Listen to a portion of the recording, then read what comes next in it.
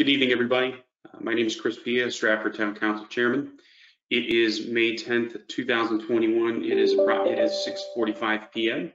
I will call to order the public forum uh, for tonight's meeting. Uh, Ms. Paquette, um, do we have any callers on the list signed up? No one has signed up. Okay, no one has signed up. I'll keep it open for another minute and uh, we'll go from there.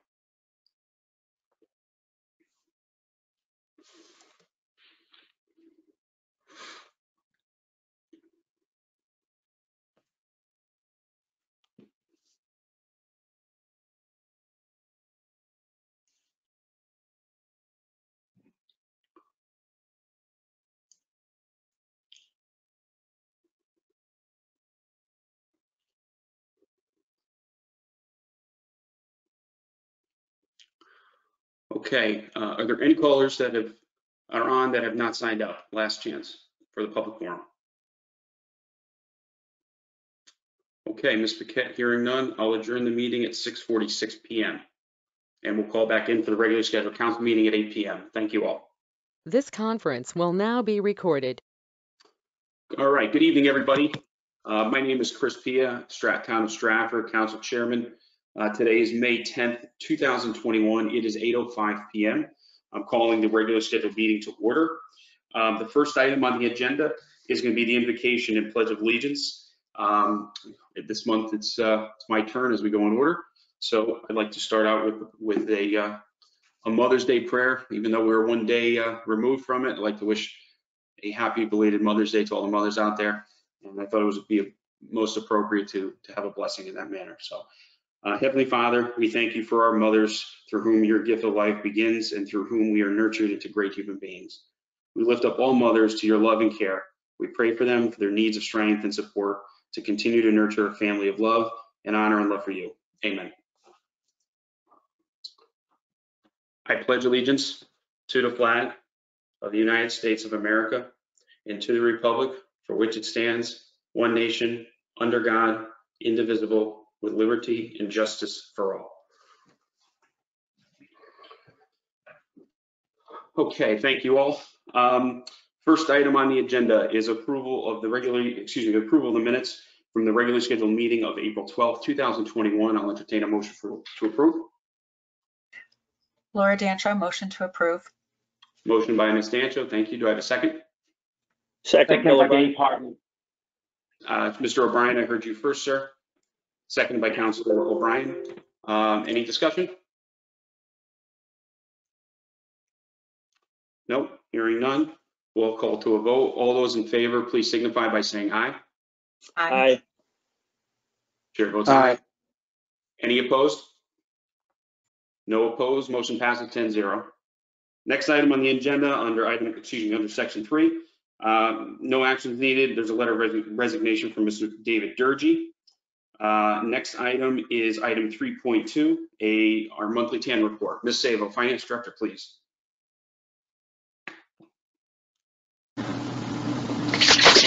Thank you.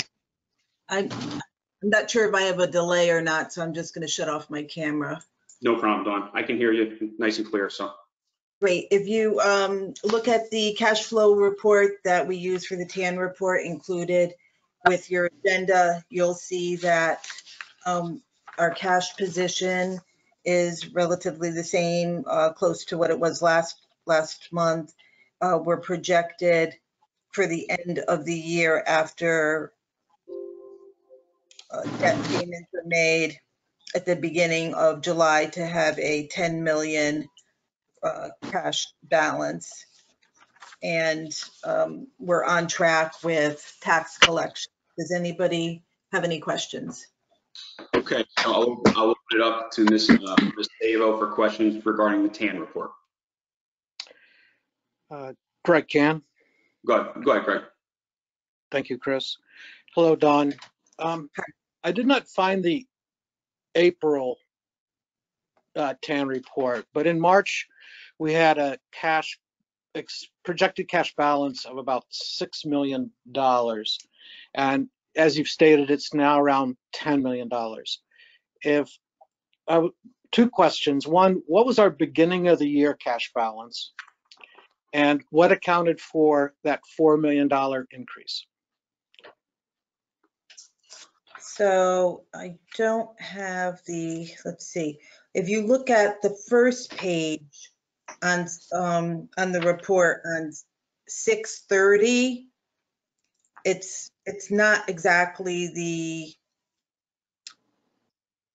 uh, it's the, well, 2020 would be the end of the year balance, and that would be basically the same as the beginning of the current fiscal year. So that was last year's cash was 39, 242, 249 and 76 cents. Do you see that, Greg? On page one? Now, my page one starts with November of 21, but, excuse me, February of 21. But we, we Okay, started the year with a, yeah, uh, we, we started the year with a healthy cash balance. and That may have been due to early collections of this fiscal year's taxes. Uh, that was more due to cash on hand from high school bonding that we did the year before. There was a large amount of bonding that the town did Okay. for capital projects. And the ex, the, the growth of $4 million. So, yes, so that's due to adjustments that we made in our estimates based on actual cash payments that had been received and what we estimate expenses to be through the end of the year. So if you look on the right-hand side on page four, all the way near the end, we always put the totals in for the vendor check. So that went down slightly based on what we've been, you know, what actuals were coming in at. And um, also the, uh, the amount that we were bringing in for fees and some of the, and the amount of um, the state receipts were, were slightly increased in the I'll- WPCA. So that's why uh, the amount fluctuated. And in, in terms of the vendor, uh, thank you, Dawn. Just one more question, please. In terms of vendor payables, uh, do we accrue for invoices written but not yet paid? This is, this is cash, so we're only doing, what, what we're doing is actuals here. So we're doing Okay. estimates of what we think the cash outgoing will be, and then we adjust it to what actual is after it happens. So we're always adjusting the report to actual and then projecting what we think it will be. So this does not include accruals because it's just strictly cash. Okay, thanks for the uh, opportunity to ask questions. You're welcome. Any other questions for Ms. Sabo for the TAN report? No? Okay, Dawn, thank you as always. Excellent job every month. We appreciate it. Um, ne- uh, Next item on the agenda is item 3.3. It's a presentation uh, by the town's auditors, uh, CLA, Clifton, Larson, and Allen. Um, I'm going to introduce, I'm going to have, Dawn- Miss, I'm going to have Ms. Sabo introduce them. Um, uh, And, but I'd like to just first start off with thanking them and and welcoming them to, welcome to uh, our meeting. You've been in Stratford for, for some time now, but uh, we appreciate your work. Um, We're going to be, the way we're going to be doing this kind of similar to the way uh, Councilwoman Dancho did with the, excuse me, Councilwoman Dancho and Mr. O'Brien, Councilman Brian O'Brien did with the Board of Ed liaison on that audit. Um, I'm going to ask the auditors to take 10 or 12 minutes um, to do the presentation, uh, of which will be supplied to the council thereafter. Um, And then we'll open it up to the council uh, for questions. And I'd like to keep that to about a five or 10 minutes. If there's additional questions that arise, we can, I ask the councilors put it in an email and we will respond to accordingly. Um, that way we keep everything moving. So, um, Ms. Sabo, I'd like to hand it to you or Mr. Timniak, whoever would like to introduce our auditing team. Sure, thanks, thanks, Chris. Um, Council, Council Chair Pia, sorry about that. Uh, I'd like to introduce our uh, audit principal and director, Vanessa Rosito and David Flint, who've been working with us for the past couple of years. And I'm happy that they could be at the, at this um, meeting tonight. I understand that this is the first time they're presenting to the council uh, since they've been here. And, you know, I hope this is something that will, you know, I know that we're, um, the mayor wants to, you know, um, and the council are seeking more transparency. So I'm hoping that this will be something regular they could do. And I just want to thank them for, um, you know, the job that they did this year on the audit, considering all the um, delays that we had. So I'll just turn it over to them to go through this, this um, presentation. Thank you. Thanks, Dawn. Um, I think I've been given rights to share my screen, so hopefully I didn't screw that up. Can everybody see that? It looks good, uh, Ms. Ms. Ms. Um, yes. Yeah. Okay. Yes, Vanessa. So my name is Vanessa Rosito. I'm a principal at CLA, and I have with me David Flint, who is a director at CLA. So we'll be going through the presentation.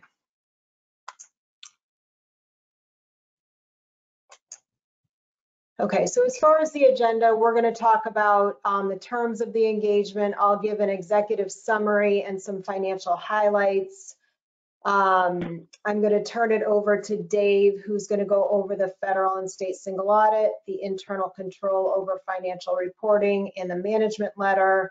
And then I'll wrap it up with the auditor's governance communication, just quickly talk about the laundry list of upcoming GASB statements and just a little bit about um, the new firm CLA. So what the town of Stratford has hired CLA to do was to express opinions on whether the basic financial statements are presented in accordance with generally accepted accounting principles, to express an in relation to opinion on the schedule of expenditures of federal awards and the schedule of expenditures of state financial assistance, and also to express an opinion on compliance with respect to those single audits. Um, in addition, we are providing a report on internal control over financial reporting and compliance with laws, regulations, contracts, and grants, and also report on internal control over compliance with the um, federal and state awards. So as far as the results, we have issued an unmodified opinion on the town's financial statements. This is the best opinion that you can receive. It basically means that your financial statements are correctly stated in accordance with the accounting standards. Uh, we did report a significant deficiency in internal control over financial reporting. Um, you know, the, the town went through a lot of changes this year with the um, finance director departing and Dawn taking over. Um, so there was a, a, a lot of um, delays. So we did report a significant deficiency. We will go over that, or Dave will go over that in detail, and we can answer questions afterwards. Um, as far as the federal single audit, we issued a qualified opinion on special education cluster and Title I because we did have a finding uh, in, in compliance with respect to those programs um, and an unmodified opinion or a clean opinion on child nutrition cluster.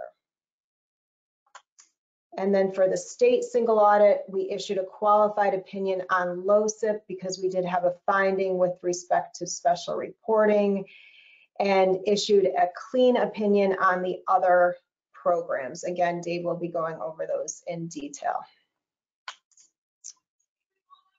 So just some high level um, view of your financial statement. So on this slide, we are presenting the major funds of the town, which is the general fund and the capital projects fund.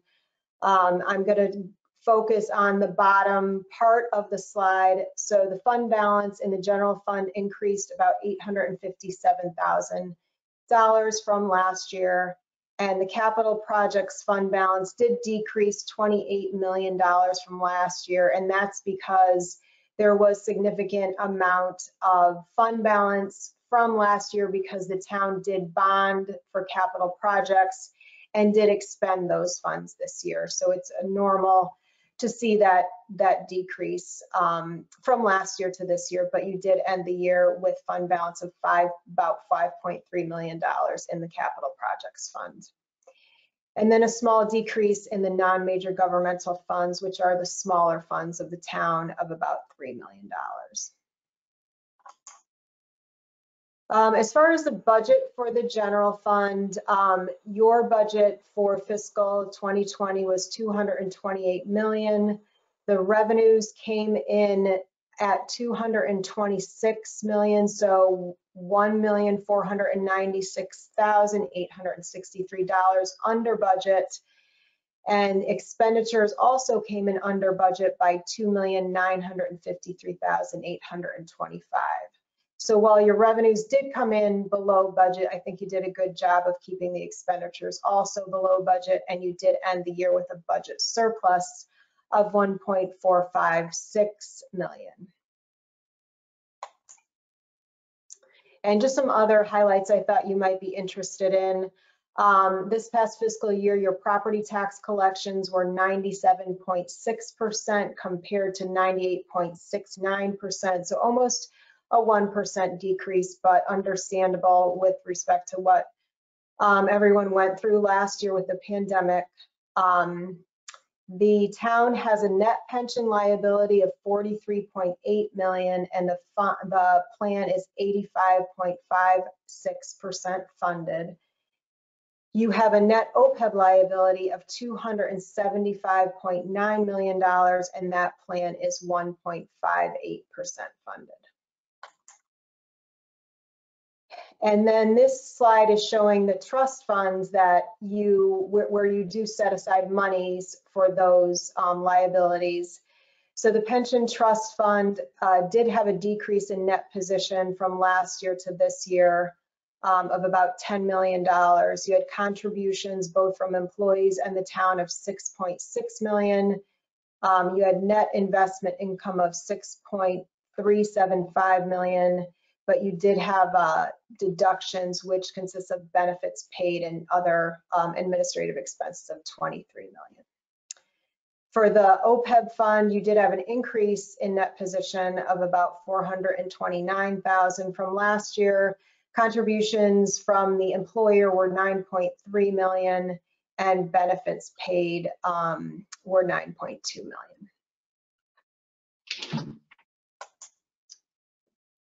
And I will turn it over to Dave to go over the federal and state and- Good evening, everybody. Um, I'm going to start with the federal single audit. Um, now, the town expended a total of $6.3 million in federal awards in fiscal year 2020. For 2020, we audited three federal programs, the Special Education Cluster, which is also known as IDEA, Title I grants to local education agencies, and the Child Nutrition Cluster. So just to clarify, um, as Vanessa said, an unmodified opinion would be the best opinion one could get. The town received a qualified opinion and a material weakness in internal control over compliance for activities allowed and unallowed um, for the IDEA and Title I grant. This was a result of the Board of Education not maintaining pay rate approvals for each of its employees. Um, the town also received a material weakness in internal control over compliance relating to program eligibility for the child nutrition cluster. Um, this relates to uh, students who receive free and reduced price meals. And in our testing, uh, we noted that one student did not have an application on file. Um, you know, typically one application out of um, the sample that we test is not a big deal, but this is a repeat finding um, over the past two years. Moving on to the state single audit. Um, the town expended a total of 60.9 million in state awards for fiscal year 2020. And for 2020, we audited four state programs. The Local Capital Improvement Program, which is also known as LOCIP, the Urban Act Grant, Town Aid Road, and Municipal Grants and Aid.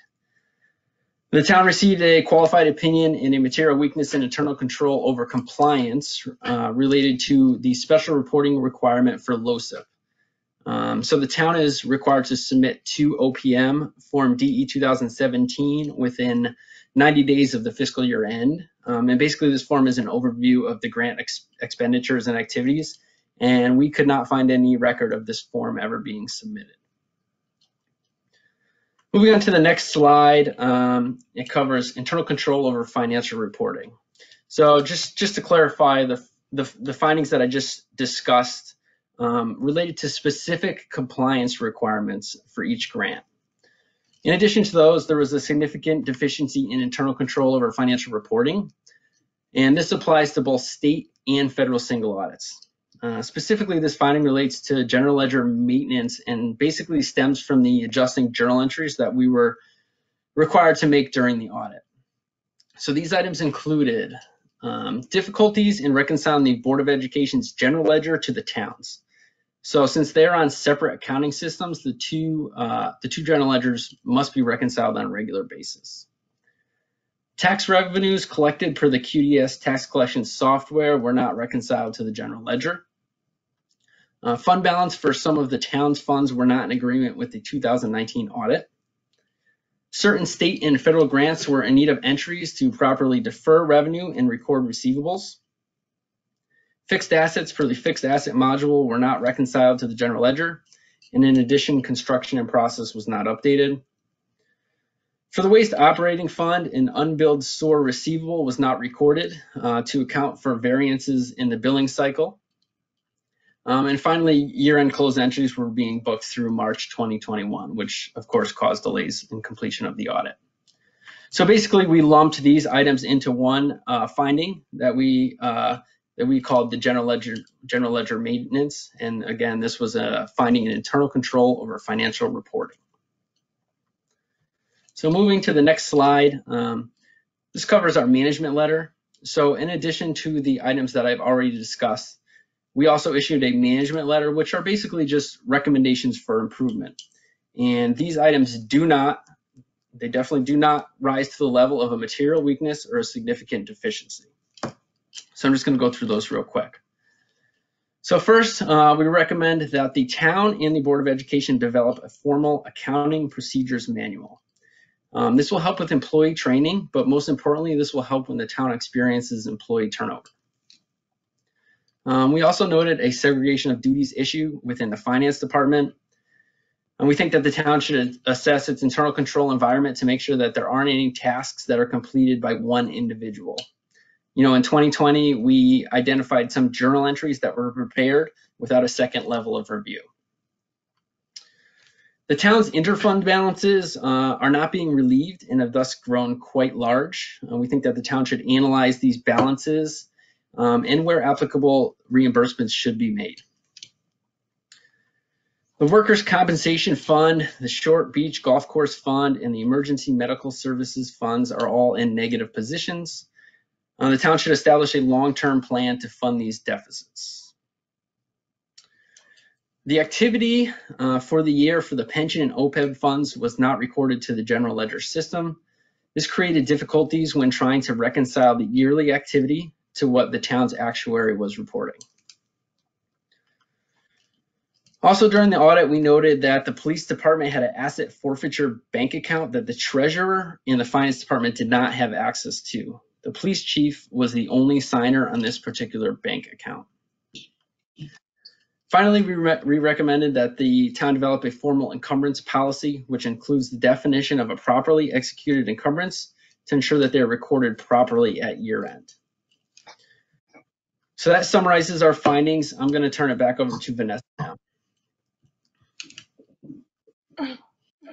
Thanks, Dave. And I, I just want to say that, you know, management is addressing these comments and, and did submit a corrective action plan. So I know you all have gotten a copy of the audit. Um, so you should you should also have a copy of the corrective action plan. We could talk about that later also.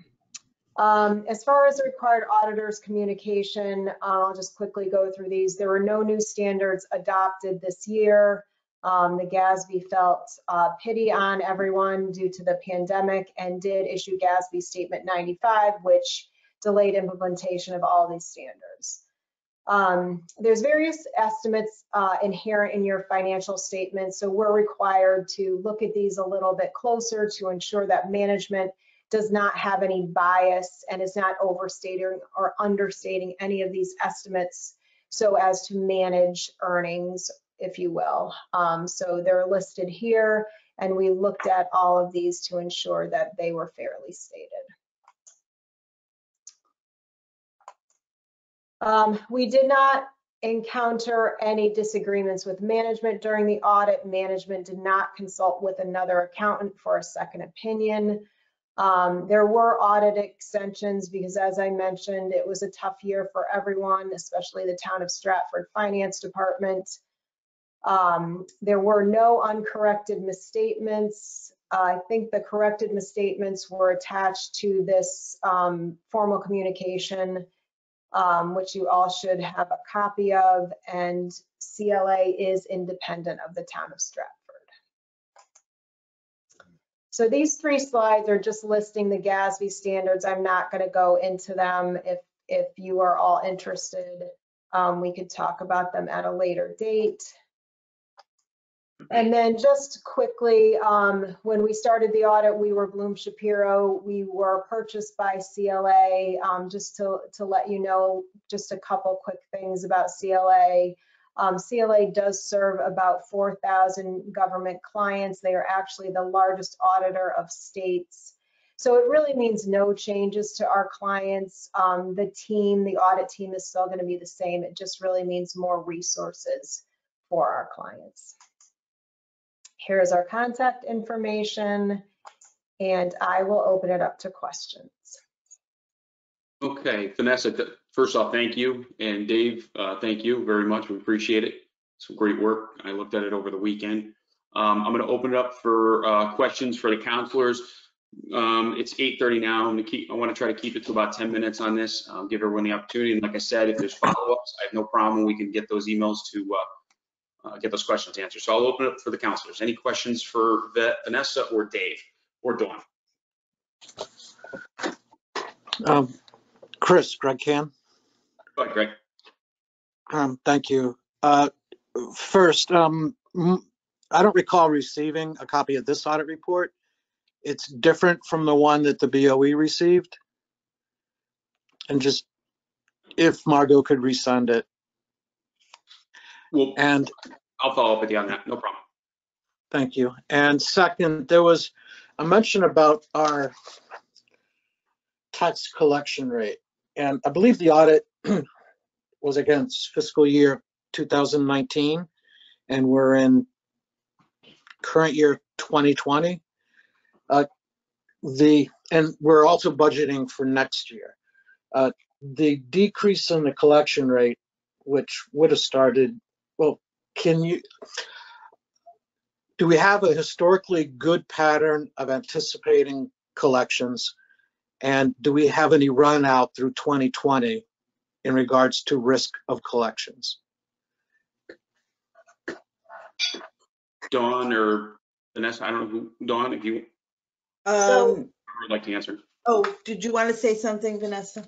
Yeah, so the, the audit that we went over was the June 30th, 2020 audit. So that Okay, was, that was the collection rate for, you know, fiscal June 30th, 2020, which was the grand list of 2018, if that was your question, maybe.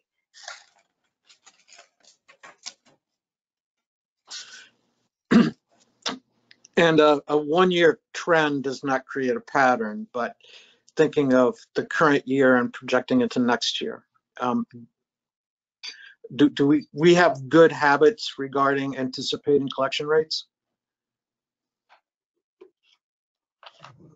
I don't know, I don't know the auditors can speak to that. What, um, what I would say is when we are anticipating the, uh, collection rate, we are also including, um, in our budget funding for, uh, non-current taxes and, um, and other things that provide somewhat of a cushion if we don't meet our expected um, percentage. Does that, does that make sense to you, Greg? Um, Yeah, that's, it's, I'll just, we'll just keep it in mind for the next 30, 60 days, but thank you, Dawn. Okay. Thank you. Um, Any other questions from any other counselors for Vanessa or, or Dave or Dawn? on the, on the CAFR? Chairman Pia. Yes, Caitlin, go ahead. You have the floor. Thank you. Um, thank you so much for the presentation. Um, you know, and in the spirit of transparency, I'm glad that we had this presentation for the council. Um, my question is, is it possible um, for this report and the PowerPoint presentation to be posted onto our town website? Don't, um, I'll, I'll jump in. Kate. I do believe that, to answer your question, the, the report itself, I believe is posted under finance. Dawn, am I? Yes, Correct. the, the CAFR is on the website uh, for the town under the finance department along with prior years. And I believe all the council members also received a copy of it via email a few weeks ago. So can we have the presentation that was just given to us posted onto the town website for the public to view and then have a better understanding also? Is that something we could do? Uh, I- Oh. Caitlin, I don't see why not. Yeah, that's fine. Yeah. Thank you. It was very helpful. Yeah, So- no, no, I- eh, sorry, didn't want to cut anybody off. Um, give us, you know, give, give it a couple days, but we- I don't see why not, and I'll make sure we work together on that. Thank you. I Thank just you. also want to mention to Greg too, I just thought of this, that we did lower the collection rate for the current year we're in. Just, you know, as a reminder that you did do that when you passed the budget last year for the tax rate. Thank you. Any other questions from any other counselors? Um, Vanessa, just one quick for me. You used the word, and forgive me if I, if I'm miscategorizing it, unqualified, Yep. Unmodified. unmodified, I'm sorry. It used to be unqualified, they changed it to unmodified, means the same. Okay, and in, in, in, in the realm of, of, of, of the lingo that we're discussing, that's a, it seemed like it was a pretty good thing, and you obviously gave recommendations that everybody should always strive to improve upon. Um, but all in all, it looked, it, it was unqualified, it was unmodified, it it was in good shape, decent shape. Yeah, the financial statements, we issued an unmodified opinion, so the financial statements are fairly stated. We did have, you know, um, things that we saw in internal controls, which we made recommendations about, but, but like I said, management is addressing them. Um, and we will, you know, work with management. If you all have questions on them, if we can help in any way, please just let us know. We appreciate it. And from the council side, I, I know I've spoken with the administration, they've, they've uh, been appreciative of your guys' guidance on this, and they said that you've been very professional to work with, so thank you. Yep, yes, our pleasure. Um, any other questions before we move on? As I said, if any counselors have any further questions, I would ask that you put those in an email to, to Ms. Savo, um, who can get it to, to the auditors. But, um, with that, we'll move on, and, uh, we appreciate both of your time. Thank you, Dave. Thank you, Vanessa, Thank you very much. Thank you, guys. Have a good night. as well. Um, okay. Uh, next item on the agenda is the mayor's report, 4.1. Madam Mayor, how are you? I'm fine, thank you, Council Chair. So uh, Town Hall has been reopened as of May 3rd with the public um, no longer needing appointments. While we're pleased that we made this change, it is recommended that um, people use the operations as we have online if they can, or go through mail or phone. But everybody's welcome, and it's nice to see friendly faces in the building. The governor has announced changes to executive order restrictions as of May 1st.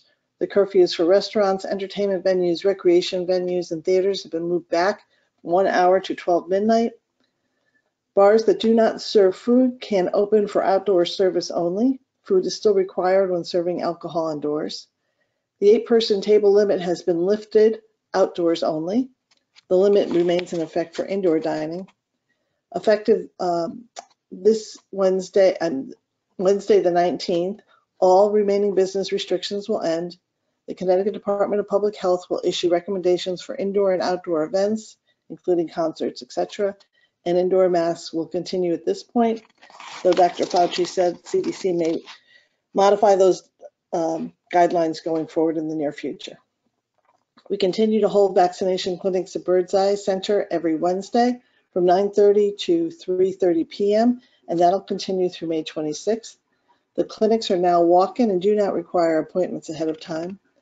The clinics are for those 18 years and older, and we are currently administering Johnson & Johnson and Moderna vaccines.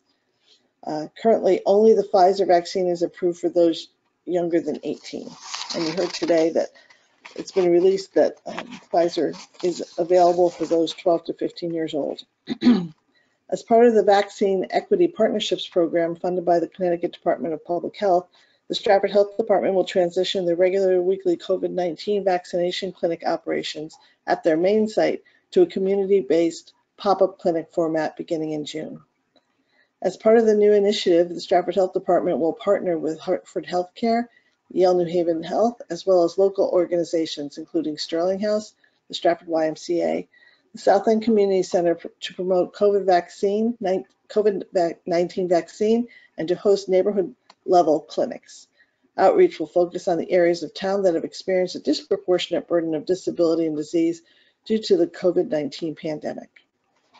To date, we've had approximately 10,700 people uh, vaccinated in the Stratford clinics. The state is releasing information about how many individuals have been vaccinated in Connecticut. Um, As of May 5th, 2021, 48.52% of the town's population has been vaccinated with the first dose. The Stratford, uh, the state of Connecticut is maintaining the color-coded weekly COVID alert map tracking the average daily rate of COVID-19 cases in the community settings. The town of Stratford remains at the red level along with 50 other, 54 of the other state's 169 communities. We are at 20.1 cases per 100,000 people. It's over the time period of April 18th through May 1st. This represents 7.8 cases per 100,000 people. On April 30th, I had the pleasure of celebrating Arbor Day at Juliette Low Park and thanking our friends at Razor's Edge Tree Service for their generous donation of over $15,000 of tree and grounds work. And they were joined by our Public Works tree crew to make improvements, remove dead trees, and to plant new ones. I also presented the town's proclamation for the Arbor Day at this event. Guests at the event included Town Councilor Paul Taveras, State Representative Joe Gresko, Town Councilor Bill O'Brien, Public Works Director Raynae Serra, Conservation Superintendent Kelly Kerrigan, as well as Cassandra Bryant, Ray Boychu, and Matt Hurley from Razor's Edge. Many thanks to Razor's Edge and our own Public Works team for their hard work making the improvements at the park on Arbor Day. Also associated with Arbor Day, we had a tree planting at Our Lady of Peace Church on April 29th. Three town-owned, long-established silver maples in front of the church needed to be removed due to damage sustained during Tropical Storm Isaias. If I said that right. Let me see. Let me try it again. I, ECAS. During a brief ceremony at the church this morning, I was joined by Town Council Chair Chris Pia, State Representative Joe Gresko, Father Nicholas Pavia, Beautification Co-Chair Christine Griffin, Fire Chief uh, Brian Lampart, Conservation Supervisor Kelly Kerrigan, Public Works Director Raynae Serra, and the Public Works crew that installed the three new trees on the church grounds.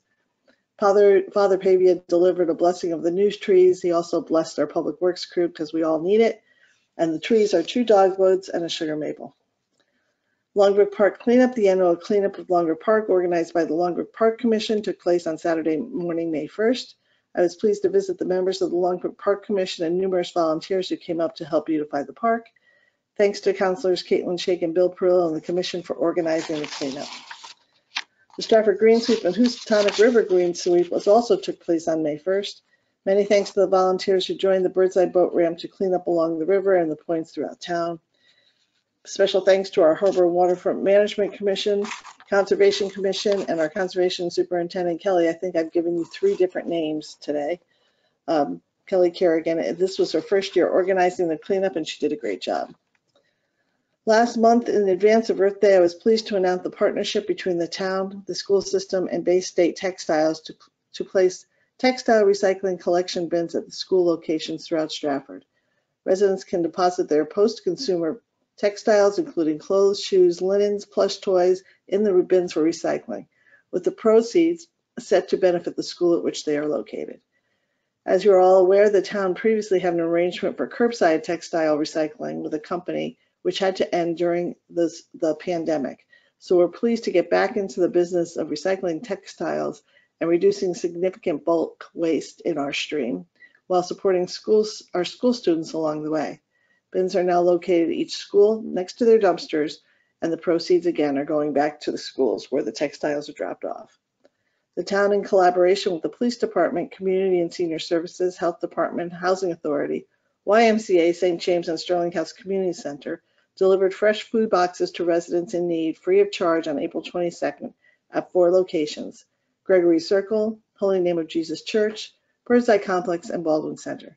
Many thanks to all the staff and volunteers who made this program possible. Stratford is a recipient of the 2021 Insurify's Fitness Fittest Cities Award based on the town's commitment to supporting the community health and fitness. One community is selected in each state each year, with Stratford being selected as the winner for Connecticut this year. The data scientists at Insurify analyzed cities in which in the state for the availability and accessibility of outdoor recreation facilities and for the proportion of the community members working in jobs that promote health and fitness or that demand significant physical activities. Stratford maintains Stratford maintains a tremendous variety of opportunities for outdoor activity and recreation, especially during this COVID year. And it was a pleasure to have the town recognized by Insurify as the fittest city in Connecticut this year. I was to, thrilled to join Brad Hittle and all the great people at Two Roads and participate in the ceremonial tapping of the first keg of Herz Honor Maibock beer this season, and that happened last Thursday. As far as Stratford Strong news, 27 businesses will be approved for the CDBG grant for micro enterprises, receiving $10,000 each, reaching the $270,000 allotted for the micro enterprise grants. 13 businesses were denied due to either delinquent taxes, too many employees, or not falling within the mod, low mod criteria. 1000 East Broadway Center School property, the RFP was released on May 4th with submissions due on June 22nd. The Complete Streets meeting is going to be held shortly uh, to review comments from DOT. This meeting will be similar in format to the one that was held last October, when the same members reviewed the feedback uh, we received from DOT for our 30 set submission. Is going to begin in 2022. Uh, Family Dollar and Dollar Tree have an opening set for May 15th. The Frontier Building on 1175 Wood End Road was purchased by Core One for 7.2 million. Nikki's Beach House Restaurant at Dorn Drive is open for business. There will be a virtual public informational hearing hosted by the State Department of Energy and Environmental Protection, DEEP, uh, to review the draft stewardship permit renewal for the Stratford Army Engine Plant. That will be held on May 12th, 2021, beginning at 6 p.m. The information is on the website. The stewardship permit purpose is to require the completion of investigation, remediation, and long-term stewardship requirements, including monitoring of the environmental conditions, engineered controls, and institutional controls as applicable. The permit requires financial assurances and public participations in final remedy decisions. The stewardship permit ensures that the statewide environmental remedy remains effective into the future. This is an important step in moving forward on the remediation of the contamination at the site so redevelopment can take place. Supporting documents for the DEEP hearing are on the town website, and I urge all who's interested to participate in the hearing. Stratford Restaurant Week will take place on Sunday, May 16th through Saturday, May 22nd. For more information about all of our great participating residents, please visit, visit our Celebrate Stratford site at celebratestratford.com. This year, the Golden Fork Award is making its debut, the Restaurant Week debut. You can visit by either, uh, you can enter by visiting a participating restaurant and then sending a picture of your receipt. And You'll have a chance to win hundreds of dollars worth of Stratford restaurant gift cards. Booth Memorial Park will be having its open day ceremony on May 16th, 12 to 4 p.m. There will be an antique car show, show, a historic building tour, flag raising ceremony, balloon man, and blacksmith demonstration, among other attractions brought to, brought to us by the Friends of Booth. Police Activities League is hosting its Come Fish with a Cop also on May 16th. The event is free and spaces are limited. Participants must be 15 years or old or younger, and to register, uh, please contact Canine Officer Diaz at jdiaz, at townofstratford.com. The Stratford Clergy Association, in conjunction with the town of Stratford, will host its COVID-19 memorial service on Saturday, May 29th at Town Hall Green. The ceremony will begin at noon. In conjunction with the VFW, the the town of Stratford will be holding its Memorial Day ceremony and parade. These events will take place on Memorial Day, Monday, May 31st. The ceremony at Academy Hill will take place at 11 a.m. and this parade will step off at 12:15 p.m. I'm pleased that once again we can resume our town's traditional recognition of those who have served and made the ultimate sacrifice defending our nation in times of armed conflict.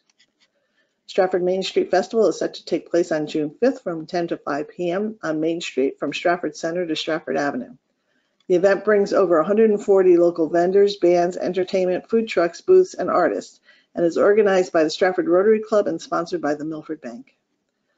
I was pleased to join the great team at Shannon Landscaping Friday afternoon for a ribbon cutting celebrating their new expanded location at 111 1111 Honeyspot Road, along with the town council members Bill O'Brien, Chris Pia, State Representative Joe Gresko, and State Representative Phil Young.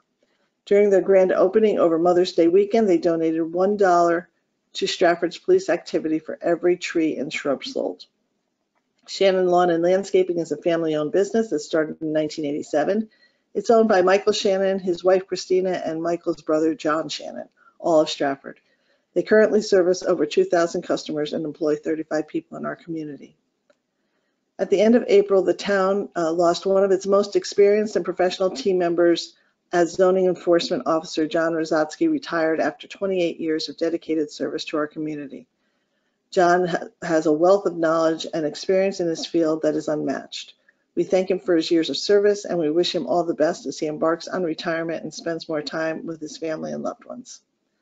I'm also pleased to recommend to the town council this evening the appointments of Maureen Millward Booth to the Booth Park Commission, Ryan Ehrenhaus reappointed to the Historic District Commission, and Megan Merwin appointed to the Historic District Commission from alternate to full member. Thank you, Mr. Chairman. That's my report. Thank you, Madam Mayor. Um, We'll open up for questions to the mayor. Uh, Do any councilors have any questions for, uh, for our mayor? Uh, Greg? Greg Cann. Yep, just heard you. Go ahead, Greg. Thank you, Chris. Hello, Mayor Hoydick. Uh, I previously submitted two questions, but I have two others. Um, One is related to the tree planting, which is a fantastic thing. Uh, We planted trees a few years ago in some of the town parks, and I'd say half of them have since died. Do we have a mechanism to monitor the trees and maybe increase their survivability? So Counselor, I don't know what trees you're talking about, but if you could um, provide that information, I can check on them and get back to you. Um, Certainly. During the past four years, I presented various rationales regarding the Register of Voters Office, uh, given arguments to make it more budget sensitive regarding our peer towns. Uh, Earlier this year, the ROV did downsize to three employees, and it successfully ran the November 2020 election. And we've recently learned that it's doubled the number of transactions uh, that it was able to execute to quote, clean the voter roll rolls, to clean the voter rolls. So using this as an example of increased productivity, have we learned of other departments where efficiencies can be created? Counselor, we learn of other um, departments all the time where efficiencies are created and expedited. And we've discussed those in our budget workshops. Do you have anything in particular you'd like to ask? Yes. I'll move on to the next two questions, please. Uh, Local authorities sometimes cannot resolve conflicts. It could be a business, it could be a municipality. Do you support an individual right, an individual's rights to engage with agencies such as CHRO to file complaints and request investigations? So Counselor, I believe what you're asking me is, do I subscribe to the letter of the law? The answer is yes. And maybe when you were in Hartford, you'll recall Public Act 1667. It was effective in 2016. It requires school districts to collaborate in documenting employee work history and participate in background checks on potential new hires. Do you see this as a good move or as an unnecessary mandate? So Counselor, did I vote for it in 2016? I guess I, sounds like you know that I did. Um, And so I would, unless there's additional information brought forward where it is not prudent and has proven um, not conducive to better operation, I would continue to support it, unless you have information that you'd like to share. No, there's just some dispute amongst some individuals in town whether it's an appropriate statute. Uh, I'm glad for your reassurance, and I'll send you some photos of the trees. Thank you. And reassurance on, you're glad for my reassurance on what, Counselor? On your statement regarding the statute that requires background checks and voter history be maintained for employees of the Board of Ed. Voter history is part of the statute? I'm going to ask the town attorney if you wouldn't mind it.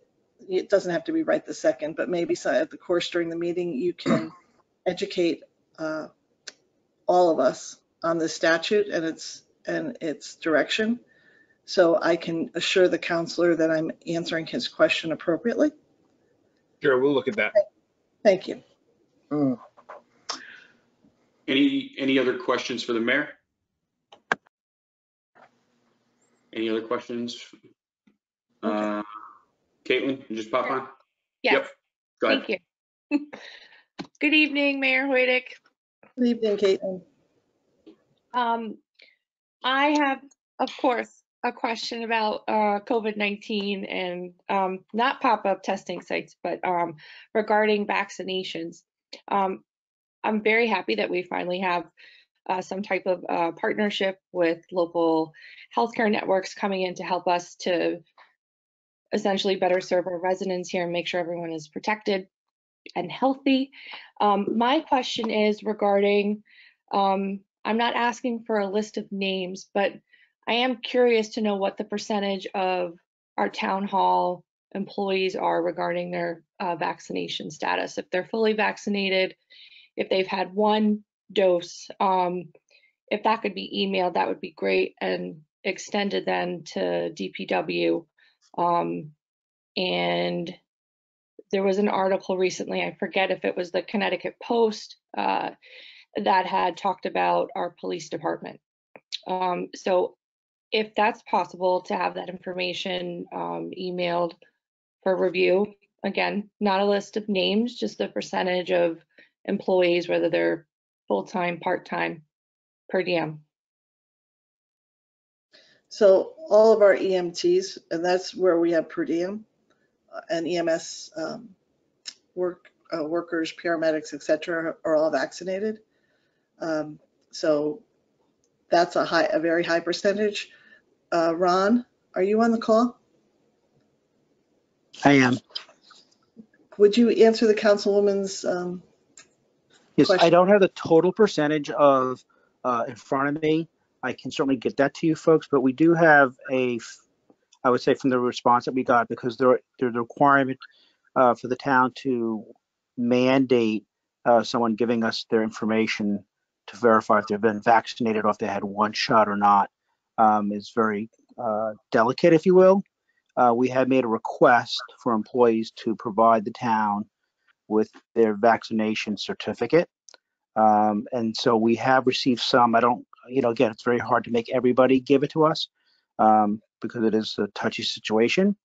Uh, but I can get the data for you and c- can email out to the council. Andrea just uh, reminded me that the health department is 100% vaccinated. Thanks, Andrea. Thank you.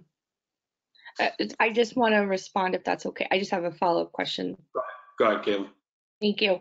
Um, you know, in terms of the part of the reason for my question um, is I'm glad that we, um, you know, as a state have made significant progress um, and that we're able to open up and enjoy, you know, being together in, in person for the most part.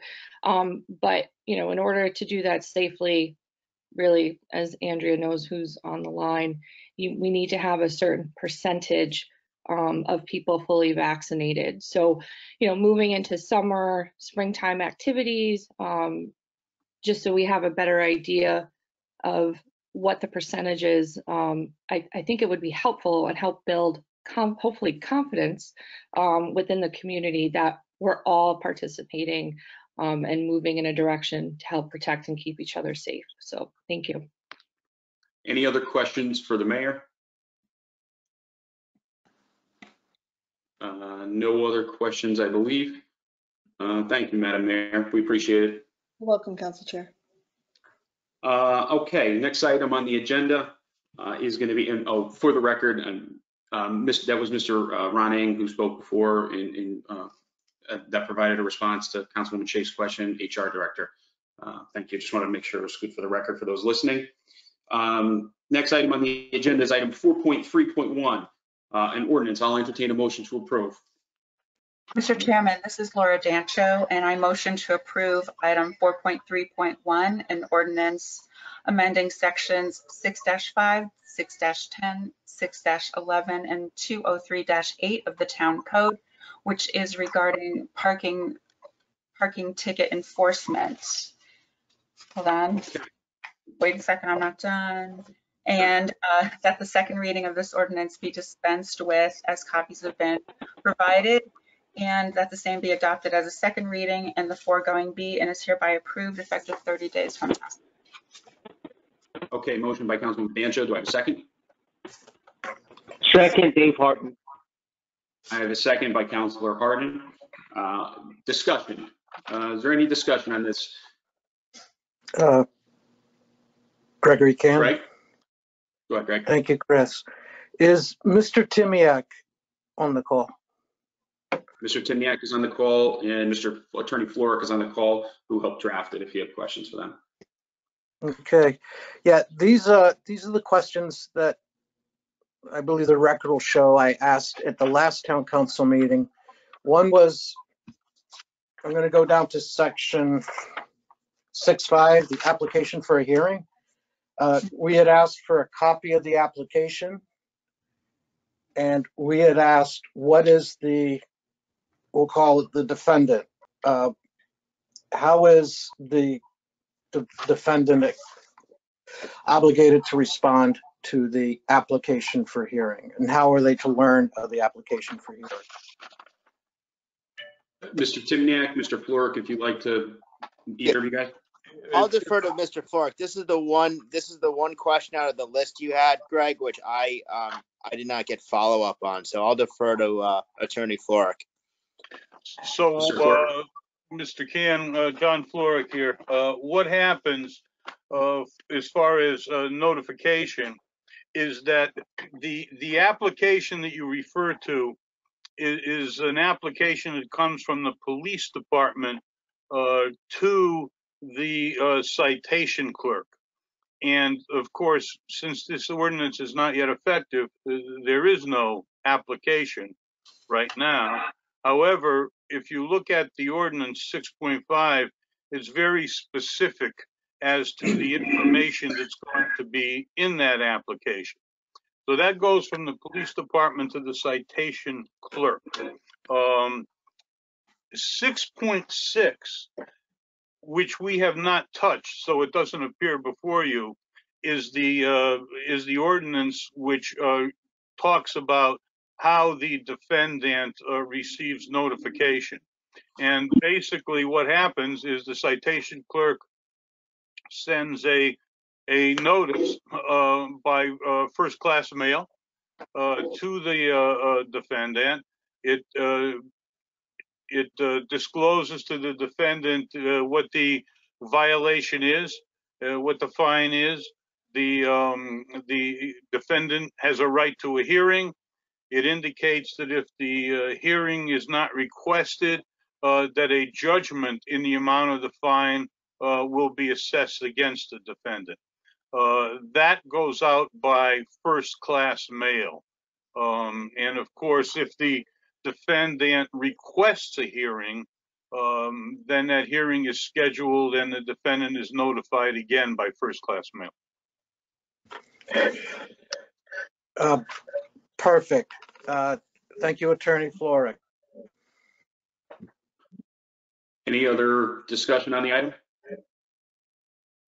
Nope. Okay, so um, being that this is the pa- the final passage of an ordinance, we're going to be having a roll call vote on it. Uh, So I'll hand it over to Council Clerk, Ms. Paquette. This is Margot Paquette, the council clerk, and this is the roll call vote for agenda item 4.3.1.1. Ms. Shake, Yes. Mr. Taveras, Yes. Mr. Harden, Mr. Harden votes yes. Mr. Cann, Yes. Mr. Poisson, Yes. Mr. Perillo, Yes.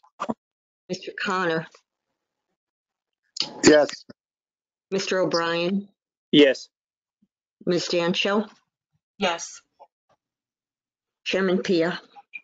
Chair votes aye. That's a 10-0 vote.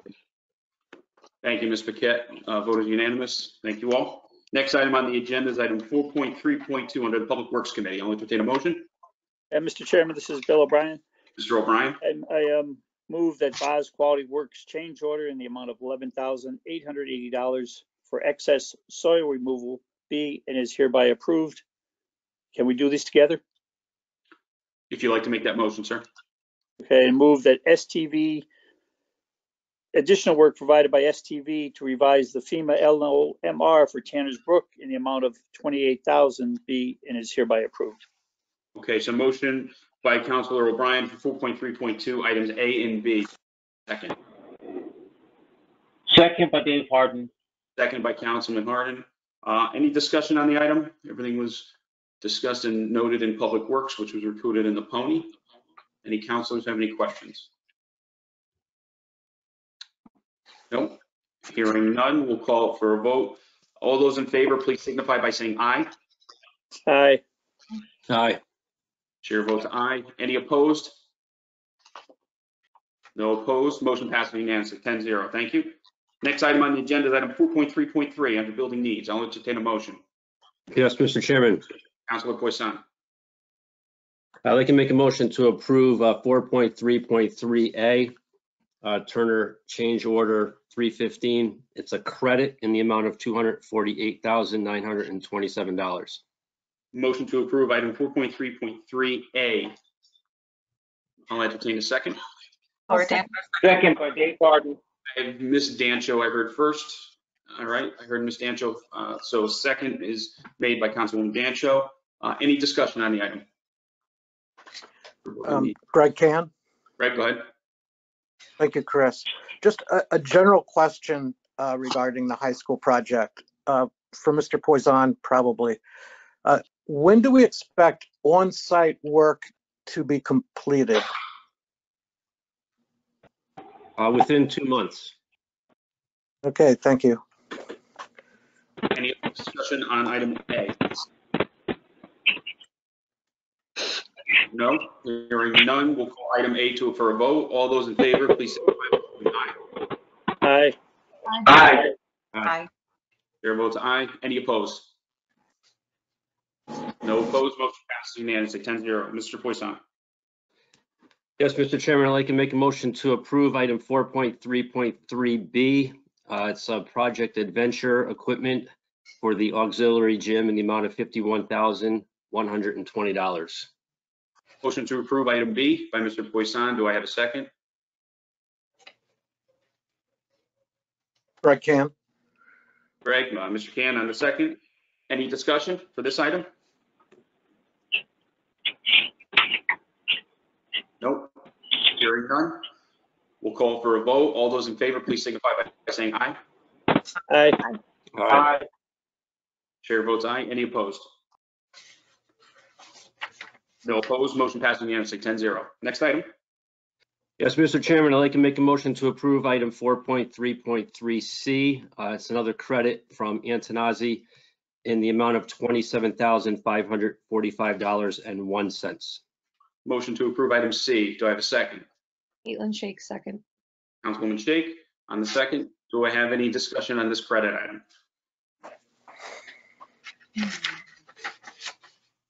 Nope. Okay, uh, no discussion. We'll call for a vote. All those in favor, please signify by saying aye. Aye. Aye. Chair votes aye. Any opposed? No opposed. Motion passes unanimously, 10-0. Next item? Yes, Mr. Chairman, I'd like to make a motion to strike from the agenda item 4.3.3D. Okay, motion to strike item 4.3.3D. Do I have a second? Second, Bill O'Brien. Seconded by Councilor O'Brien. Uh, For discussion, Uh, Mr. Timniak, this was, I know it's something that came up just uh, recently, but if you can give some clarity on it? Council Chair? Or Madam Mayor, if you'd like, if, Madam Mayor, if you'd like. Yeah, Chris, if you don't mind, I'll, um, Yeah, Go I'll ahead. take first and then defer to Dawn.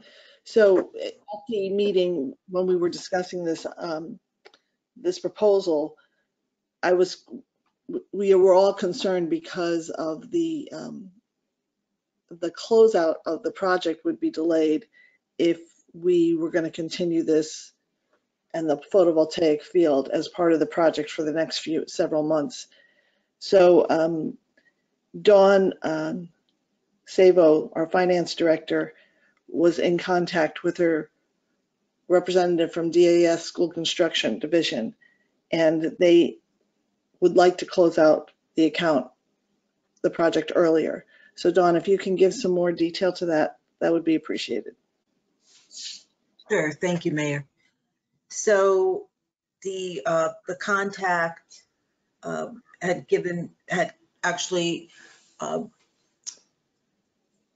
reached out to me because uh, the state received some information that the project would be extended due to the photovoltaic, and they had other applications from the state, um, from the town, I'm sorry, on other roof projects that the council had approved that we would be doing the photovoltaic. And so in their um, view, they would like to close out the project and then put the photovoltaic on a separate project for Stratford High School. So we'll still be getting the school construction funding for the project, but it will not come under the Stratford High School project. And their reasoning for that is they are trying to push to get the project to close out earlier. And I think that would be in the benefit of the town since, as you know, we did authorize bonding for the retainage that the state holds back until the project is closed out and audited. And we are paying interest on that. So the rate that we are currently getting with the high school for the reimbursement rate is 60.36%. And as doing the project separately, we'd be getting 59.64%, which is less than 1% difference, and it's about $6,000 difference. So we're saving, in my estimation, the cost of the funding, the debt that we have incurred for the project longer, and also for extending any contracts. That, is that a good explanation? Uh, Dawn, that makes sense to me. Uh, Are there any other counselors that have any questions on, since we're in discussion on this item for, for Ms. Sabo on this one?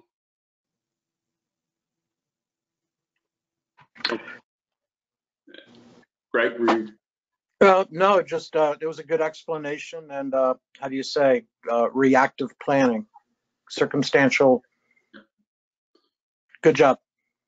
Yep, Dawn, excellent observation as always. Thank you, Madam Mayor, for that. Um, Being that there's no other further discussion, we'll, uh, again, we're, the motion, just for the record again, was to strike the item. Uh, So we will move forward with a vote to strike item D. All those in favor, please signify by saying aye. Aye. Aye. Chair votes aye. Any opposed? Uh, Mr. Taveras? are you opposed? Yeah, I'm going to abstain. Understood, for because the photovoltaic, yep, and you have precedent on that. So no, no opposed, one abstention by Council Taveras, Ms. Paquette. So the vote goes nine zero one. Thank you all. Um, Next item on the agenda is item 4.4, Town Attorney's Report. Mr. Hodgson. You know, just to change things up, I do have a report this evening. Um, I spoke with the mayor and she thought it would be helpful for the council for me each month to highlight some of the activities of the town attorney's office, and I think that's a great idea. So for, uh, in April, for fees and costs recovered in two real estate foreclosure matters, uh, our office was able to recover the sum of eight thousand six hundred fifty-five dollars. And in another foreclosure, the sum of three thousand five hundred seventy-four dollars. In addition, for blight properties, the total liens and costs recovered was six thousand five hundred twenty dollars. We handled general liability claims, which include um, WPCA sewer backup and also property damage claims such as potholes. We settled six individual claims for a total of seven thousand ninety-three dollars. The high settlement was thirty-four hundred dollars and the low was two hundred nineteen dollars. In addition, we have five new tax appeals that came in and those were assigned. We have four real estate matters on the agenda this evening, which we'll discuss in executive session. And uh, that is my report. I look forward to reporting each month along these lines. Thank you. Thank you, Mr. Hot. Thank you, Attorney Hodgson. Appreciate it. Um, Next item on the Oh, agenda. Chris? under- Greg. Chris? Yes, uh, an opportunity to discuss or to ask questions? Uh, I'll allow it for, for anything that he reported on. I'll allow it for anything he reported on. Go ahead. Anything he reported on? Uh, It was a question that I submitted earlier today. I was hoping to get a response because it's relevant to an agenda item. If it's, An item, I know that you had several questions, Councilman Cann, um, with respect to, uh, you had an ethics question, a library Well- board question, uh, Yes. another ethics question regarding preferential treatment, and then a question regarding home rule and the 2017 tax relief fund. So we can defer all of those except the library board. Did the town attorney's office come to any determination that the board is in violation of state? I believe we have an agenda item on that for an appointment later in the agenda. if we, Greg, I'm not, I'm not trying to cut you off, but anything, any question if it pertains to any agenda item, I'd like to just, we can have the discussion under that item. I have no problem having the- the attorneys answer your question. I just want to keep everything in sync. Very good, thank you. Thank you. No problem. Um, Thank you, Attorney Hodgson. Thank you. Next item, next item on the agenda is item six point two point one. Just double checking myself. Uh, Entertain a motion for a resolution there? Chair, six. Hardy? what'd you say? Uh, yeah, six, uh, point two point one, a resolution uh, regarding the annual action plan for the program year forty-seven, Community Development Block Grants, the CDBG funding. Uh, here, here, uh, it be resolved that the purpose action plan for program year forty-seven as summarized in the attached hereto, be adopted by the town council as a town action plan for the community development year 40 47. Okay, motion by um, Greg, I'm getting a lot of feedback on you right now. Oh, sorry, let me mute. Uh, Motion by Counselor Hardy, There's further language in- regarding the resolution that I think should be moved as well, Mr. Chairman. Mr. Harden, if you'd like to continue per the town attorney's request, sir. And be further resolved that Laura Mayor Hoydick, the town of, uh, town hall, 2725 Main Street, Stratford, is hereby authorized to officially represent the town of Stratford and submit the action plan for the program year 47. Uh, we did, uh, revisions, uh, amendments thereto, and understanding certificates and assurances containing therein to provide any additional information which may be required by HUD so that the town may receive the Community Development Block Grant, uh, Grant Year 47 funds. Okay, mo- motion by Councilman Harden. Do I have a second for, for the item? Laura Dancho, I'll second. second that. Ms. Dancho, I, I heard you first on that one. Um, any discussion on, any discussion on, the- on the item? Uh, Greg Cann. Go ahead, Greg. Thank you, Chris. I just want to thank the CDBG committee and all the applicants for making this a productive process on behalf of the town. of Medford. Any other discussion on the item? No problem. Any other discussion? Nope. Okay. Um, thank you for everybody's work. We'll, we'll move this along. We'll call for a vote. All those in favor, please signify by saying aye. Aye. Aye. Aye. Aye. Chair votes aye. Any opposed? No opposed. Motion passes unanimously, 10-0. Thank you. Next item on the agenda is item 6.2.2. I'll entertain a motion. Bill Perillo. Councilman Perillo, on the I'd like- motion for 6.2.2. Yes, I'd like to accept the resolution regarding the vaccine equity partnership funding. Okay, thank you, sir. Uh, I'll entertain a second. Caitlin Shake, I'll second. Call- uh, Second, Councilwoman- James Harden. Councilwoman Shake uh, on the second. Um, Any discussion on the item? Mr. Chairman, Mr. Taveras, go ahead, sir. Thank you. Thank you, Mr. Chairman. Um, I'd like to have an idea of getting um, some data on uh, all 10 districts and speaking for any other counselor that would like to have, a- maybe this is a question for the, the health department, but uh, I would just like to have an idea of how many people in Stratford especially have been vaccinated, uh, whether they had their first or second dose, uh, and even those have yet to have a dose. Um, Councilwoman Shake has been going around doing door knocking and feel like I've been one up. I want to make sure that not only my district, but in other districts are being equitably served and uh, making sure that not only are we getting the word out, but still, you know, assisting the health department and all those to uh, to to really get this uh, vaccination program going. So would that be something that would be made available where I can get some of the numbers in the districts? I'll, People that have um, been Mr. vaccinated? Yep, hang on one second, Mr. P- uh, Mr. Taveras, so- excuse me. Uh, Ms. Ms. Boissevain, I don't know if you have um, information for Mr. Taveras' request tonight, or if that's something you need to follow up with. Uh, I'm gonna have to follow up with, because I, I have data that's, uh, for Stratford, but they have not, um, broken it down by, by address. Um, and so I'm, I'd have to see if they could go to that, to that level, you know, in terms of having it district-wide. Um, but they don't, they don't report that data, um, in, in that, in, in that way. I mean, it's a, you know, it's, a- it's, a- it's a good question. They do, they do break it down by age. So while the average for the town is, uh, coverage is forty-eight point five two percent, um, our, uh, and now they collapsed the, uh, the data for sixty-five and over, but they used to report out seventy-five and older, and our seventy-five and older is ninety-five percent covered. Um, but now when they collapse the nine, the 65 and 75 year olds, that's almost 81% coverage.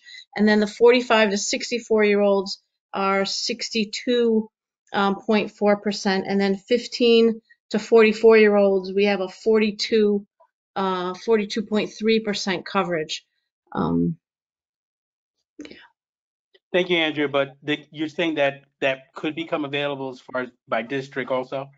I, I, I don't I don't believe so. We can we, we can see at the state, but the state only um, does it by um, by town. They don't actually break it down. Um, and what's also frustrating is that the state doesn't break down race um, and ethnicity issue. They just report on as a state um, as a whole, and they don't break it down um, by uh, by by town either. So that's a little bit that's a little bit frustrating. Chairman Thank you. Theo. Thank you, Andrea. Chairman Uh, Theo. Councilwoman Shake, go ahead. Thank you. Um, hello, Andrea. Hi. I have a, I have a follow-up question. Um, you know, in lieu of being one of the 27 or 25 municipalities throughout the state that is now a recipient of this grant to um, better serve all of our residents in an equitable fashion for vaccine distribution, um, I'm concerned that, you know, on a state level, if um, if that is correct because of the, uh, you know, metrics in order to meet the requirements in order to be a recipient of the vaccine, uh, or excuse me, of the vaccine distribution assistance, um, that it wouldn't include data collection um, based on race or ethnicity. Um, so that's something that I, I'm curious myself, and I'll email DPH because I would assume that they would have um, more detailed metrics um, in order to uh, chart the progress, hopefully. Right. Um, that's number Right. one. Um, number two, um, I think Councilman uh, Taveras's request really to, if, if there's a way for us to, you know, break down the data.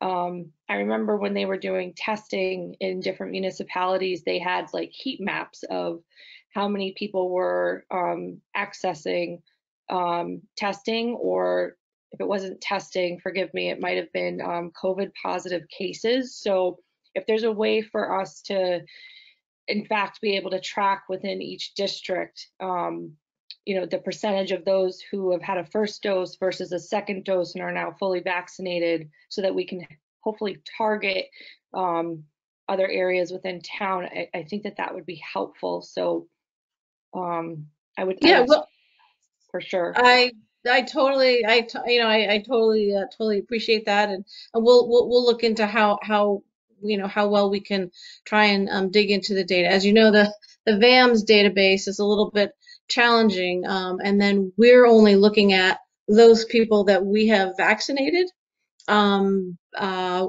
as opposed to, and it's not you know we're part of a, a broader network of vaccinators, um, so that you know it's it'll it'll be um, challenging to see how you know I can get information for for that. But we'll we'll we'll look into it.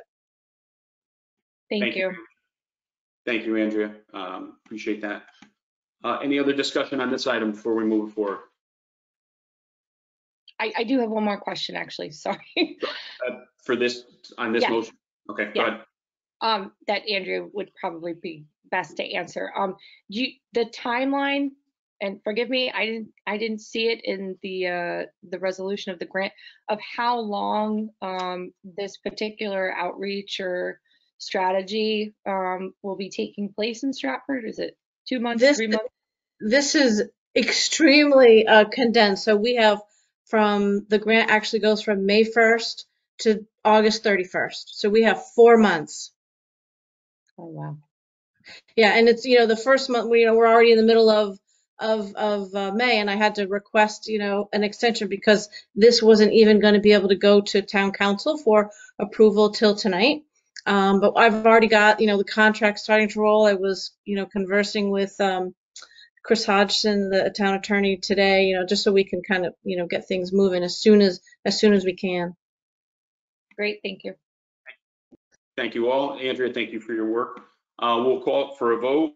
Uh, All those in favor, please signify by saying aye. Aye. Aye. Chair votes aye. Any opposed? No opposed. Motion passes 10-0. Uh, Next item on the agenda is item 6.2.3. I'll entertain a motion. Mr. Chairman, this is Laura Dancho, and I motion to accept item 6.2.3, a resolution regarding taxes transfer into tax suspension, and that the town council of the town of Stratford authorizes the tax collector to transfer to the tax suspense account these accounts totaling $325,246.81 for the grand list amounts as shown in our agenda. Motion by Councilwoman Dancho. Do I have a second to the motion? Greg Cann. Mr. Cann on the second. Uh, Any discussion on the item? Uh, Dawn, if you can, just uh, elaborate and give us a quick summary of this. Sure. So um, this is at, um, regarding a state statute 12165 that requires towns to adjust their accounts receivable by removing tax items um, that we deem most likely uncollectible. So it's, it's kind of some housekeeping for our um, accounting that we do usually annually. It wasn't done last year uh, due to COVID. So this amount here represents um, motor vehicle and personal property. It's not real estate because we lean that, so we never put that into suspense. This is just really for an accounting, moving out of our accounts receivable into some, what you could liken to a, a bad debt account. This does not um, remove the ability for us to collect these taxes. If somebody has to register a vehicle and um, we would still be able to collect the tax if they, you know, if they go to motor, um, to DMV to try to register their vehicle. Um, so we still are able to collect on this. We do have a collection agency that normally works on these older accounts, but we're just moving them on our books to um, a bad debt account. Thank you, Dawn. I, to, you made the point, we didn't do it this past year, but I do remember, this is, I remember doing it a couple years ago. We've been doing, this is a pretty much an annual recurring item, right?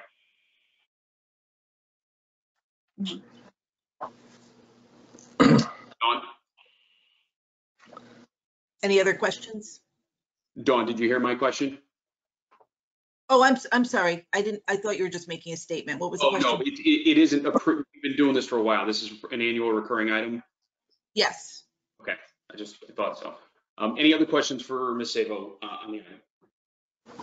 Uh, Greg Cann, Greg, go ahead.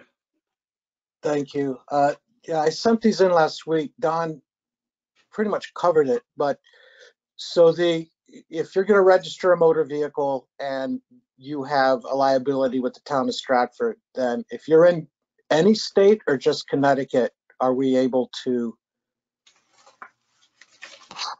uh, get our money back, if you will? No, it would, so the way it works, is in Connecticut and they go to register another vehicle in Connecticut, they would still see that this is an outstanding tax bill and they would need to come to the town to get a release to give to Connecticut DMV.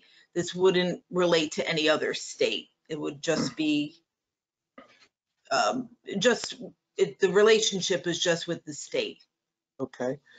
And the last question is, the tax suspense items or any old debt, is it sold to third party for collections or do we just retain them and give them a, a fee for helping us with the collections? So we, we pay, we don't sell them, no. And we pay based on their collections. All right, thank you. You're welcome. Any other, any other questions for Ms. Sabo? Hearing none, we'll call for a vote. All those in favor, please signify by saying aye. Aye. Aye. Chair votes aye. Any opposed? No opposed. Motion passes unanimously, 10-0. Next item on the agenda is item 6.2.4. I'll entertain a motion for the resolution. Mr. Chairman, this is Laura Dancho, and I motion to accept item 6.2.4, a resolution regarding extension of municipal municipal budget adoption deadlines, and that the deadline for the adoption of the annual budget for the fiscal year ending June 30th, 2022 is hereby extended to June 30th, 2021. Motion, uh, motion by Councilwoman Dancho. Do I have a second to that motion? Second, Paul Taveras. Seconded by Councilor Taveras. Uh, Any discussion on this? Pretty straightforward, gives a municipality the extension uh, up to June 30th per the governors. Uh, Any discussion? Yeah, Chairman. Greg Cann. Uh, Councilwoman Shake first. Go ahead, Kim. Thank you. Um, just for clarification purposes, i- is there an extended timeline there then for us as council of when um, we collectively will be having a meeting? Is, does that mean that for us, we'll be extending um, potential budget workshops, further workshops if necessary, um, for another couple weeks. The resolution, Caitlin, to, to the best of my understanding, is that per the governor's executive order, gives each municipality uh, up to its discretion up to June 30th to pass, pass its budget. That's what this is, that's all this is doing. Okay, I'm just trying to understand in terms of a timeline, so, you know, I can plan so I can be present. Yeah, as of right this moment, as we're sitting here tonight, there's no date. Um, But again, it gives us, the town charter has always been May 12th, and the town attorney can correct me on that if I'm off by a day or two, um, to pass the municipal budget, but this allows us up to June 30th. Thank you. That's correct, Mr. Chairman. Thank you, Councilman. Um, Any other discussion or questions on the item? Yeah, uh, Greg Cann. Go ahead, Greg. Uh, Just a, a- as a courtesy, is, is the sooner we can schedule any supplement or special meetings, uh, the better would be for everyone's um, ability to schedule. And uh, that's it. Thank you. Okay. Any other discussion on the item? Okay, hearing none, we'll call for a vote. Uh, All those in favor, please signify by saying aye. Aye. Aye. Aye. Chair votes aye. Uh, Any opposed? No opposed, motion passes unanimously, 10-0. Uh, Next item on the agenda under new business is going to be item 7.1. I'll entertain, I'll entertain a motion to approve.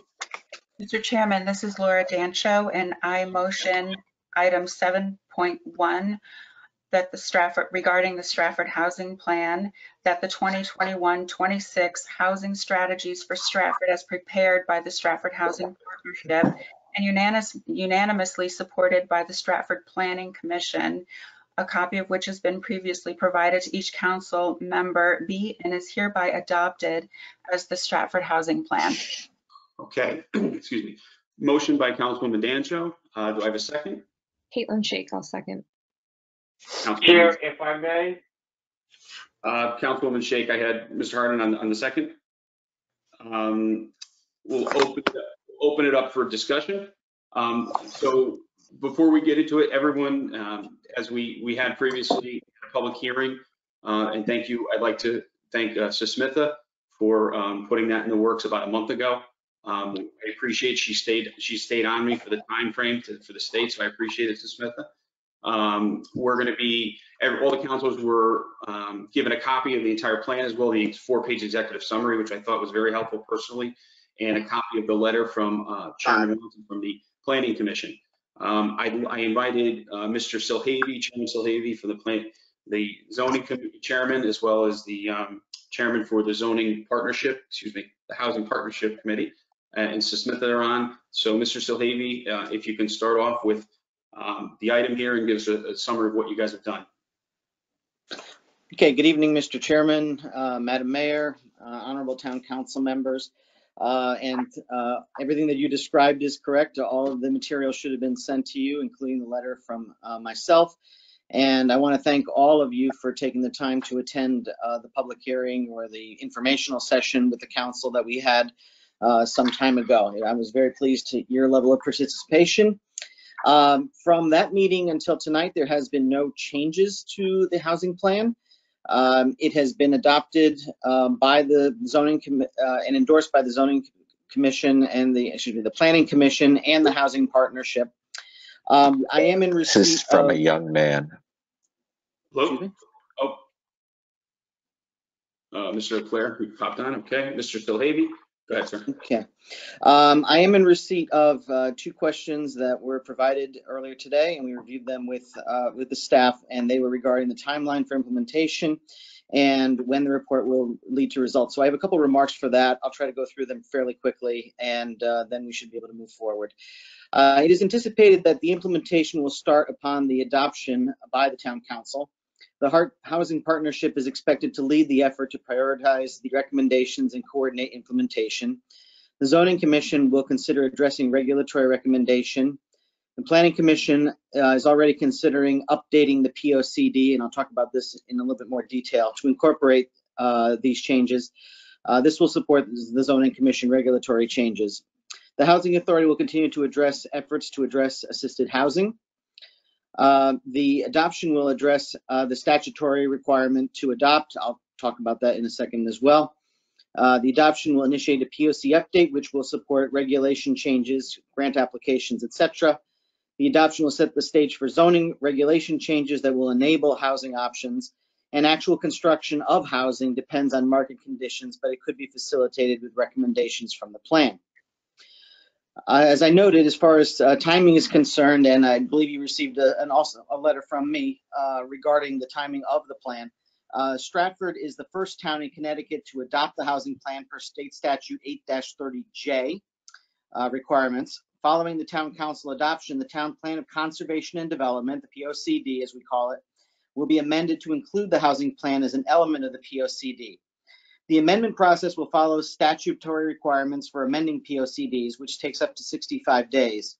Once the POCD is amended, it will provide legal standing for updated zoning regulations as recommended in the housing plan. Planning and zoning staff, in coordination with the Planning and Zoning Commission chairs, myself and Commissioner Harold Watson, uh, and the housing partnership members will also develop a further timeline to amend the recommended zoning regulations as discussed. Uh, The general housing recommendations of the housing plan will guide all future development applications made to the planning and zoning boards, uh, both during this term and into the future, uh, immediately once the housing plan is adopted. The housing plan has to be updated once every five years. Therefore, at the end of each five-year period, an evaluation of progress will be made and implementation included in future updates. It's important for members to know that uh, plans of this type generally go for about five years. The POCD actually has a 10-year lifespan. Now, they are indeed plans. So as situations change, uh, they can be, be amended uh, by following a process set out in statute. Um, So if, uh, you know, things change uh, during the lifespan of this council, or, which is, I know is relatively short, but during the next two years, by all means, can we go there so that it is, it is, um, you know, reacts to the actual conditions that are, uh, are facing the town as we move forward to uh, adopt these things and bring into uh, focus and reality the goals of the housing plan, which is to seek uh, to provide a variety of housing choices in Stratford for people and households of all ages and characteristics. So I hope all of you have had a chance to review it. I'm certainly happy to uh, entertain any questions. Um, and I know, um, um, and I've enjoyed working with all of you on this and, and the town staff, uh, as well, especially Susmitha, uh, Glenn Chalder. And uh, I would hope that you would adopt this plan and allow Stratford to be the first to adopt its um, housing plan. So thank you, Mr. Chairman, and I'm happy to entertain any questions. Thank you, Mr. uh, Thank you, Chairman Silhavy. Uh, Open up to the floor to councilors uh, to ask questions. Councilwoman Chakis, you. Thank you. Um, good evening. I'm super excited that we have, um, this housing partnership plan in front of us. Um, my question for you, Mr. Silhavy, I don't have your letter in my, uh, pony packet and I just researched my town email and I also, I, I don't have that, um, Um, okay, it was submitted. It's on the website, but I will be happy to send it over to you or direct you to uh, where it is to make sure that you have it. Um, Mr. if Sil- other members have not, don't have it, I can, Mr. Chairman? Yeah. Mr. Silhavy, just point of clarity, is this the, Yes. the, the note, the, the, excuse me, the letter from last month's meeting, or is this the, I know, put it in It's here. this one that's on the housing partnership uh, letterhead addressed to you, Councilman Pia. Yeah. It's dated March 31st, 2021. I also did not receive that email. The letter. Okay, well, I'll tell you what, I will, it is not a long letter. Um, If, with the chair's indulgence, I will just read it very quickly for you. I you. was just gonna ask. Thank you. Yep, go ahead, Mr. Silhavy. Okay, um, to the t- uh, Honorable Christopher J. Pia, Chairman of the Town Council, dear Councilman Pia. Attached, please find the final report of the Stratford Housing Partnership, which upon adoption will be considered Stratford Housing Plan as required by state statute. This plan was unanimously endorsed at the partnership's meeting of March 25th, 2021, and is being referred to you with a favorable recommendation. This plan represents several months of hard work by members of the partnership to acquire an understanding of Stratford's current and future housing needs and formulate strategies to confront an issue of growing importance. The partnership was assembled as a bipartisan group acting in a nonpartisan capacity. Its members included current and former elected officials, members of the public, and citizens with specialized knowledge of our housing needs. Through discovery and discussion, these strategies are presented for your consideration. Despite the pandemic, a considerable effort was made to take in public input and understand the concerns of town residents. To bring these strategies to fruition, those holding office in Stratford now and in the coming years will need to do further work to craft these into concrete actions and meaningful legislation. The Stratford Housing Partnership will continue to be a resource to guide our town along the way.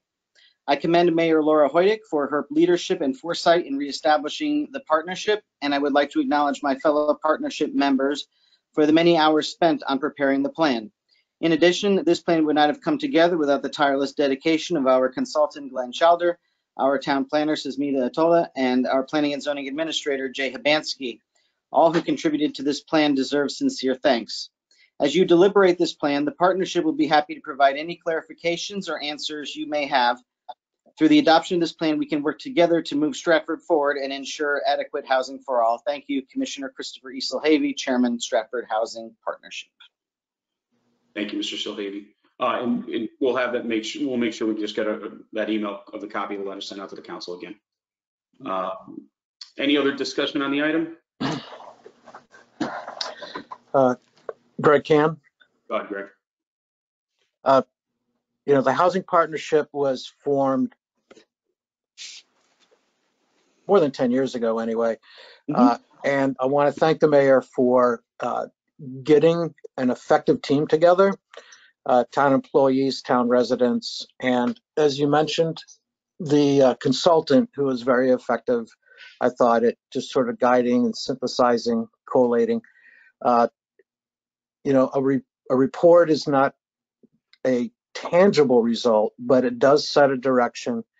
And if we, you know, the timeline that uh, Mr. Silhavy mentioned about POCD first, 65 day window, then it goes to the other two commissions.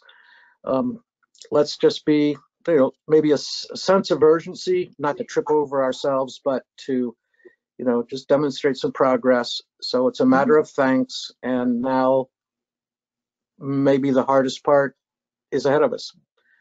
But thank you all. Any other discussion on the item? Uh, Mr. Silhavy, I'm just going to add in, in Susmitha as well. I thought it was, you know, I read, I read the plan. Um, I, we attended the, the joint special meeting, uh, which was a great idea, which brought together a lot of the, you know, planning and zoning, council, what have you in town about a month and a half ago. I thought it was awesome that over a thousand residents participated in the survey. Um, I thought that was a very, very good number. Um, so I do appreciate it. You got, you went out and you got good, hard feedback, which is great. Um, and we set it in motion, we start it, it evolves, it, it's organic, it grows over time, and, and we keep going with it because it's a great thing for the town and the community. So I want to thank everybody involved. Thank you, sir, and you're at, and it's absolutely correct. Now the hard work has to has to continue. So we'll I'm prepared to uh, help you guys and with the town in my official role uh, to see us through the process. I thank you very much. Awesome. And any other discussion? Excuse me. Okay, uh, hearing none, we'll call for a vote. All those in favor, please signify by saying aye. Aye. Aye. Chair votes aye. Any opposed? No opposed. Motion passes unanimously, 10-0. Thank you.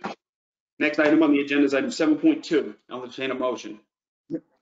Mr. Chairman, this is Jim Connor from the 8th District. I'd like to make a motion resolved that the award of town bid number 2021, uh, 2021.31 for boiler replacements for, at Flood Middle School to Southport Contracting in the amount of 275,000 be and is approved, hereby approved, and the mayor B, and is hereby authorized to enter into contract for such in form acceptable to the town attorney.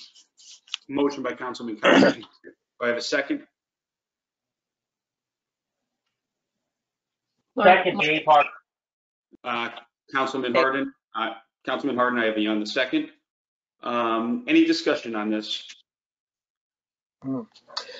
Uh, Chairman Pia? Mr. Cann, go ahead. Yeah, uh, the question I had directed to Mr. Timiak was regarding this and the item below it, Eli Whitney. Uh, What year were these originally bonded for? And do these dollar amounts come in under our estimates? Um, Councilor McCann, the, uh, original bonding, it was in fiscal year twenty, uh. Capital plan was five hundred thousand dollars was appropriated with the flood, uh, with flood being identified in the description as the next school to need replacement.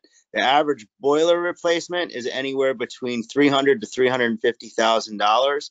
The remaining funds go for repairs on boilers and water treatments to maintain and extend the life of the boilers throughout the entire school district. Does that answer your question? Um, we bonded a total of $1 million? Uh, the capital plan was five hundred thousand dollars. including both of these items, Chris? Um, well, for Eli Whitney this year, we're um, this year we're going to propose adding more to it um, okay. for Eli Whitney. That's our hope right. when, when the cap when we get everything settled with uh, with the money coming in, we'll we'll make a determination on that. Got it. Thank you, sir. Any other discussion on item 7.2? Okay, we'll call for a vote. All those in favor, please signify by saying aye. Aye. Aye. Aye. Aye. Any opposed? No opposed, motion passed unanimously, 10-0. Item seven point three. I entertain a motion.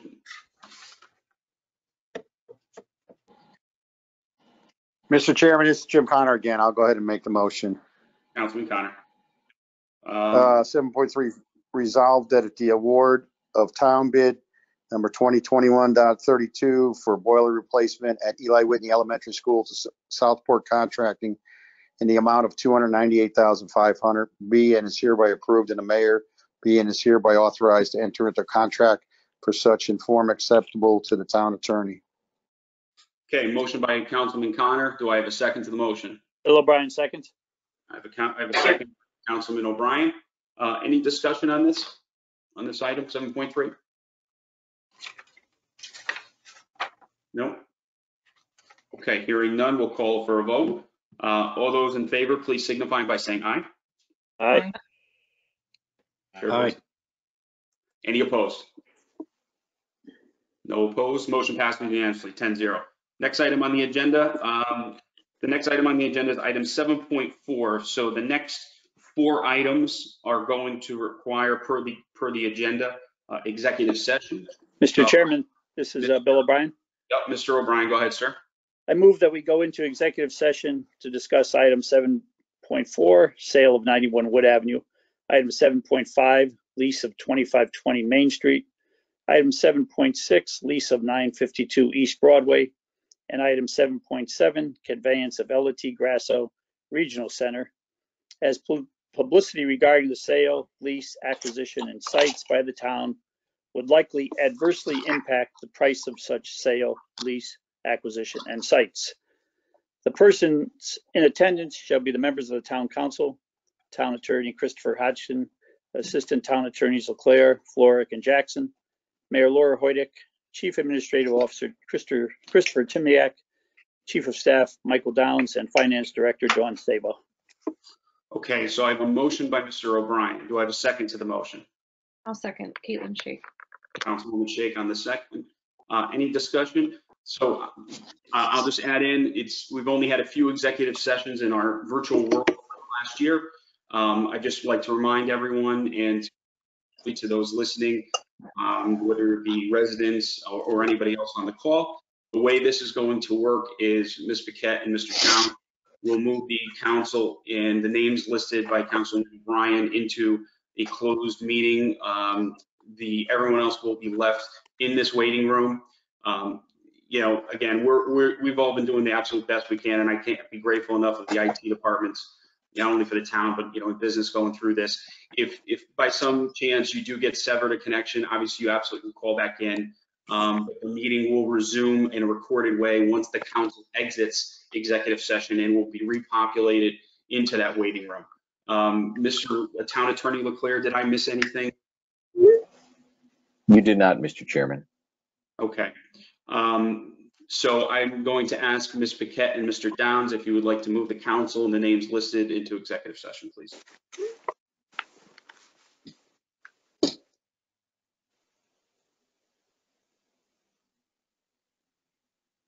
Margot, are you here? This is Mike. I'm here. Who's that? That's, this is Mike Downs. Oh. So uh, we'll proceed to, uh, and I just want to uh, clarify what the council chair said. So the way we need to operate this is we will be uh, removing everyone from the session who is not uh, allowed in the executive session. And we'll be locking the meeting. And then anyone who wants to call back will be placed in a holding pattern uh, in a waiting room until we unlock the session.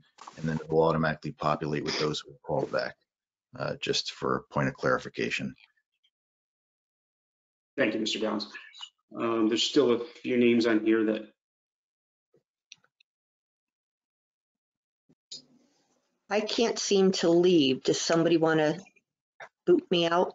I'll try, Margot. That would Thank be you. one of our honors to kick out you as an organizer. Yes. That's, that's just love. um, let's see.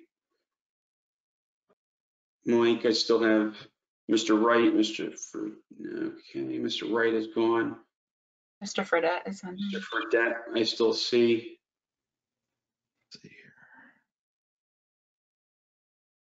And the three town attorneys.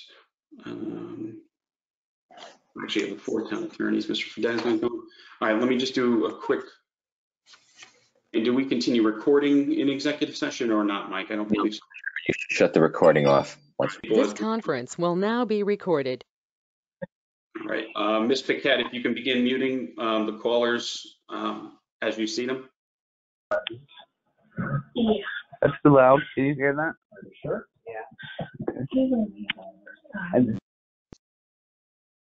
Right, I'm gonna make sure, right, make sure we have brought everybody with us here. Counselors. uh, um, I believe I see. I see everybody.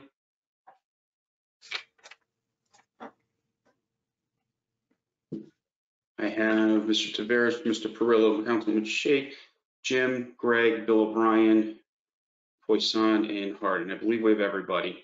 Uh, the mayor, town attorneys, uh, Ms. Paquette, Mr. Downs. I think we're, we're good, Margot. Does that look good to you? Yes, it does. Okay, Uh, Mr. Chairman, Jim Connor's having a internet problem. He's trying to get back on. okay. All right, we'll, we'll continue on here. Um, I know Jim's trying. Um, okay, so thank you all for, to the public who's, who's still on. We appreciate your, your patience. We have returned, we're coming out of executive session, so I'll entertain a motion. Mr. Chairman, this is Bill O'Brien. I'll make a Mr. motion that we exit executive session where no votes were taken. Laura Dancho, Okay. second. Motion by Councilor O'Brien, seconded by Councilman Dancho. Any discussion on exit? No. Seeing none, all those in favor, please signify by saying aye. Aye. Chair votes aye. Any opposed? No opposed. Motion to exit passes unanimously, 10-0. I'll entertain a motion. Mr. Chairman, Bill O'Brien again. Mr. O'Brien, I make a motion that we authorize the town attorneys to proceed as directed in executive session. motion by Councilman O'Brien. Uh, Do I have a second? Laura Dancho, second. Second by Ms. Dancho. Um, Any discussion? No? Okay, seeing none, we'll call for a vote. Uh, All those in favor, please signify by saying aye. Aye. Aye. Chair votes aye. Motion passes unanimously, 10-0. Um, Excellent, thank you all. Um, Next item on the agenda is item 7.8.1, inlands, wetlands. Um, Point, as you'll know, this was, uh, this is the charter, a town council chair uh, appointment. Um, Last month, I appointed Mr. David Chess. There was just a, a small scrivener's error, so per the town attorney's request, we restated it for the record uh, with the scrivener's error corrected.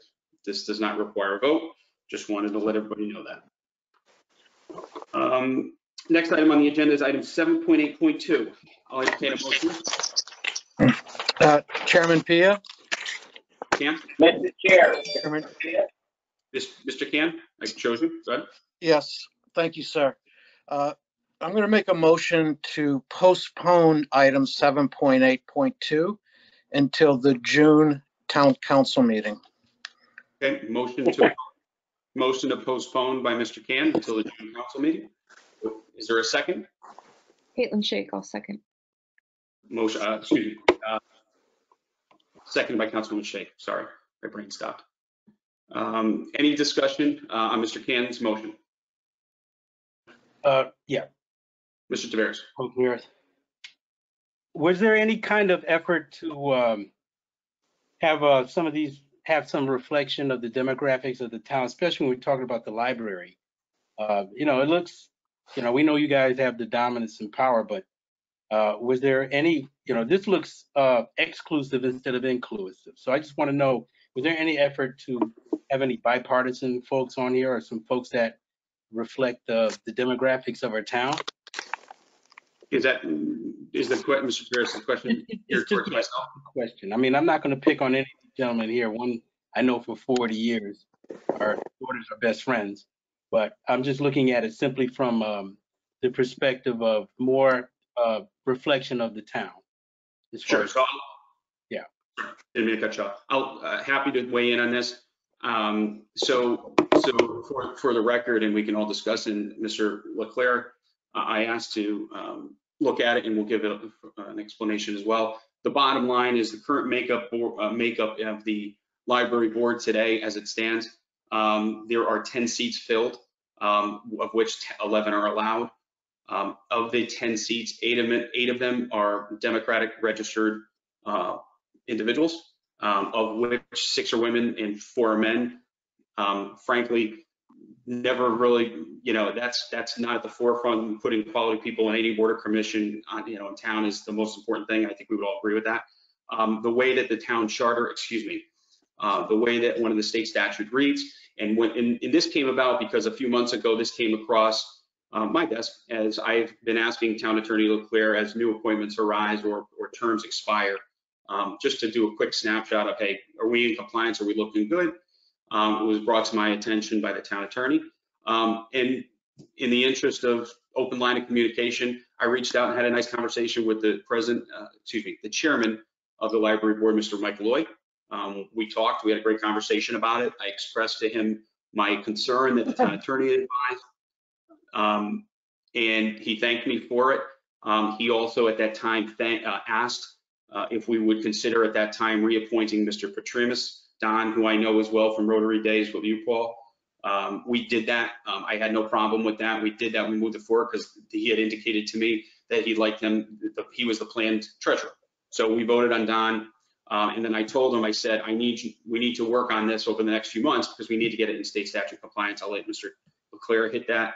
Uh, and then the bottom line, over the past few months, more applications people who wanted to sit on it. Um, so we made the, I made the determination to, to put it on the town council agenda tonight to bring this back into compliance. Um, and that's how we arrived at where we are. Mr. Leclerc, did I, if you'd like to weigh in? No, you are correct, Mr. Chairman. There is a state statute requiring minority representation on all uh, boards and commissions of the town uh, and appointed by the town. Minority uh, in the sense uh, uh, of members of a political party. Having uh, eight members of the same political party of the 11 violates the, the minority representation statute. Uh, therefore, the max you can have from any one party is seven uh, on this board. Mr. Chairman. Uh, you. Councilman Shake, go ahead. Um, Mr. Leclerc, um, if you could, I had emailed, um, you and I believe Mr. Hutchinson, um, and I think Mr. Pia was on the email, just inquiring, you know, where, because I had looked through myself because of the email that we had received, um, out of concern. Um, and I had forwarded to you where, I think it's the town code, um, the only citation, um, that had to do with uh, the oversight of our Stratford Library Board. So if you could please um, email the council all of that information, just so we could actually see it in front of us before we make um, any decision, that, would be helpful. Um, and I would also weigh in, um, even though obviously I second, um, you know, considering that the council received an email um, from the person who is being listed to be taken off of the board out of concern with their years of dedication um, to our community through our library, that we do consider um, tabling this until June to further look into it. So Mr. Leclerc, do you have, um, can you cite the town, the state statute, please? I could, I could tell you that the state, there are two, uh, to respond to uh, Councilwoman Shake's comment, you did cite the correct section of the charter. Uh, and that's all you're going to find is that one section of the charter which empowers you as the town council to make the appointments. The statute you look at is 9-167 small letter A, which calls for the minority representation. Uh, it has the maximum number of members of any board, commission, committee, or similar body of a political subdivision, town of Stratford being a political subdivision of the state, whether elective or appointed. You have to look down at the numbers, the total membership in one column, and then the maximum from one party in the second column. You have 11 members, therefore no more than two thirds can be of the same political party. Uh, in this case, that would be uh, seven. Eight would be too high, would be more than two thirds. So that's the authority for that. So just, can I ask a follow-up Yep. question? Yeah, go ahead. Um, so how do we, I don't, I honestly, I don't know what the political affiliation breakdown is of, of the, you, I heard you say that we have currently eight Democrats. Um, and then what was the continued? Sure. Currently, as it stands right now, Caitlin, there's 10 seats filled of the 11. There are eight um, registered Democrats, there's one independent, and there's one registered Republican. Okay. So this is different than when we have, I'm just asking for clarification. This is different from when we have, you know, a primary election where you have to be um, affiliated with either a Democrat or Republican in order to vote in, in either or. This is a different. No, no, there's, there's two distinctions. One is, first, let's talk about the council. You're elected by district. So minority representation does not apply to the council. You can all be of the same party because you're elected by districts. Otherwise, it wouldn't be unfair. It would be, it would be unfair. Uh, when you're running for office, you you can run uh, either a Republican, Democrat, Green, Independent. Uh, There's a number of a Connecticut party. There's a number of legitimate registered parties in the state of Connecticut. You can also run as an unaffiliated individual. The statute merely says that no more than in the case of, of the library board, no more than seven can be of the same political party.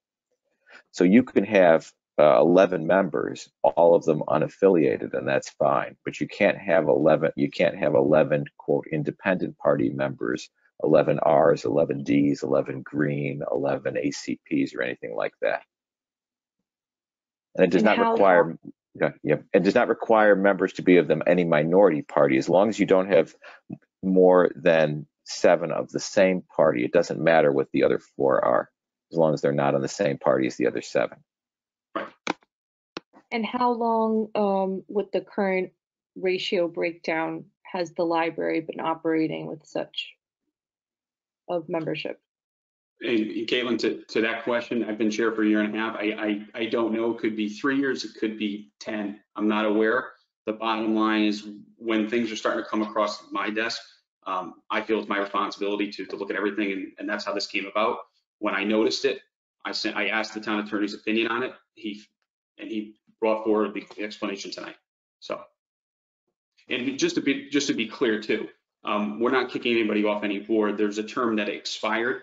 And in order to bring the board back in compliance under the state statute, we're simply. Any other discussion on the item? Chris, it's Greg Cann. Go ahead, Greg. Um, we're still discussing the postponed to date certain, but we're, we're getting a little broader. Uh, I'd like to uh, address uh, three questions to Attorney Leclerc. Go ahead. Uh, So we've, you know, I've written about Carrie Monticelli, Monticelli, excuses the name pronunciation, and how uh, she has demonstrated the commitment, the dedication, the qualifications, etc.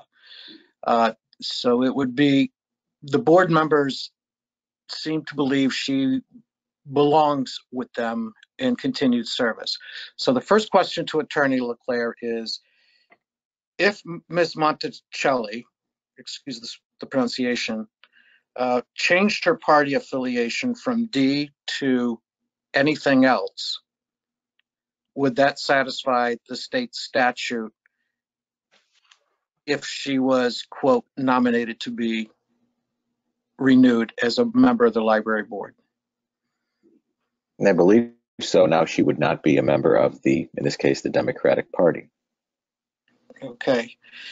Uh, This uh, second question goes to the ethics. Uh, You know, there, there's a lot of stipulations, quid pro quos, uh, conflicts of interest. But if two family members, if there's no condition such as quid pro quo that may explicitly apply to them, is there any restriction in the ethics or the charter code, et cetera, that would prevent two family members from serving together on a board or commission? Having the two members on, you know, of course, just for, for everyone else on, on the council, you know, we have a code of ethics and that's adopted under section 9.3.2 of the town of Stratford charter. And the code itself is in article four of the code. It begins at section 5-24. It's something you all should read if you haven't already. Uh, it's important. It talks about conflicts of interest. It talks about self-dealing, uh, prohibited transactions. I don't believe there's anything in there that addresses uh, a couple or uh, two related people being on the same board, though, Mr. Cann. Okay. And uh, section 2.2.2 Of what? of the charter speaks to the qualifications of appointees. And it reads that, I apologize, uh, such appointments be made on the basis of candidates' general experience and qualifications. The nominator of any such candidate for appointment shall state the experience and qualifications of the nominee at the time of the nomination. Now, in our packet, we did get one resume, but the other two that are listed here, we did not. And aside from the, the board members' desire to find a mechanism to keep Carrie on the board, uh, the fact that we don't have the qualifications for two of the three candidates is another argument for postponing this decision until the next council meeting. What section are you reading, Mr. Cann, again? I'm sorry, of the charter? Uh, I just have 2.2.12. So Greg, Greg, let me jump in. For as long as I've been chair, we've, I believe this started under Councilman Connor's um, chairmanship as well. Forgive me if I'm mistaken on that, but as long as I've been chair, I felt, excuse me, I felt that it's important for renewing membership on committees or commissions for volunteers, as well as appointing new people, that we include an application in every pony. We've done that. Um, I think it's been invaluable. Um, At no point has it been made clear that a resume is required. In fact, we've probably only had a handful of them. That's up to the discretion of the individual sending in the resume. Um, If an individual sends it in, I send it to Margot, or Margot receives it, whomever, and it's included in the pony. Um, So I do disrespectfully, I do disagree with you that just because it's not a resume attached, that doesn't require a vote, doesn't need a vote. Uh, I'm just reading the charter. We'll wait for Attorney Leclerc to catch Mr. up. Leclerc, can you answer uh, Mr. Cann's question? So what is, your- what is your specific question? Y- About qualifications?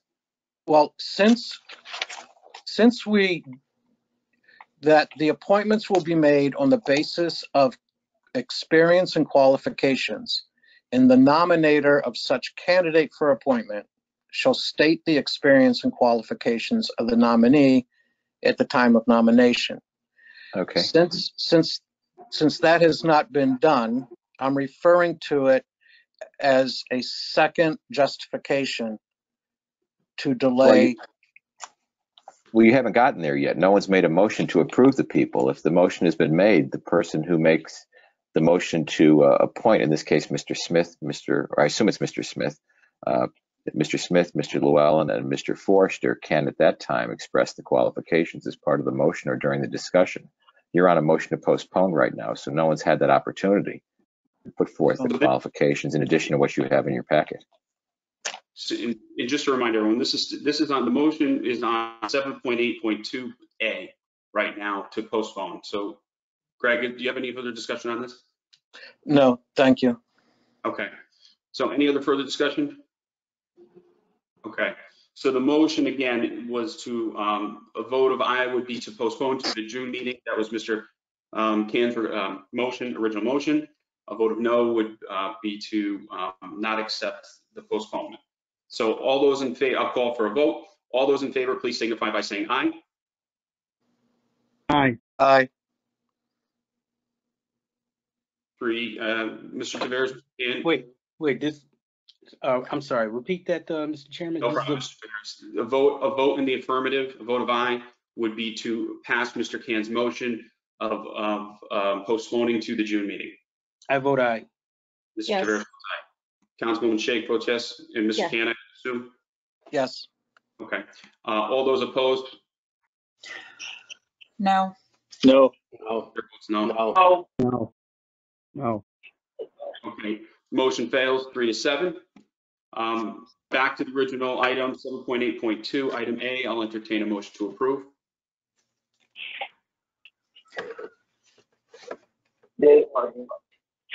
Um, Mr. Mr. Harden, did I hear you? Yep, Mr. Harden, uh, do you want me to read the whole, uh, thing or no? If you can, sir, please, for the record.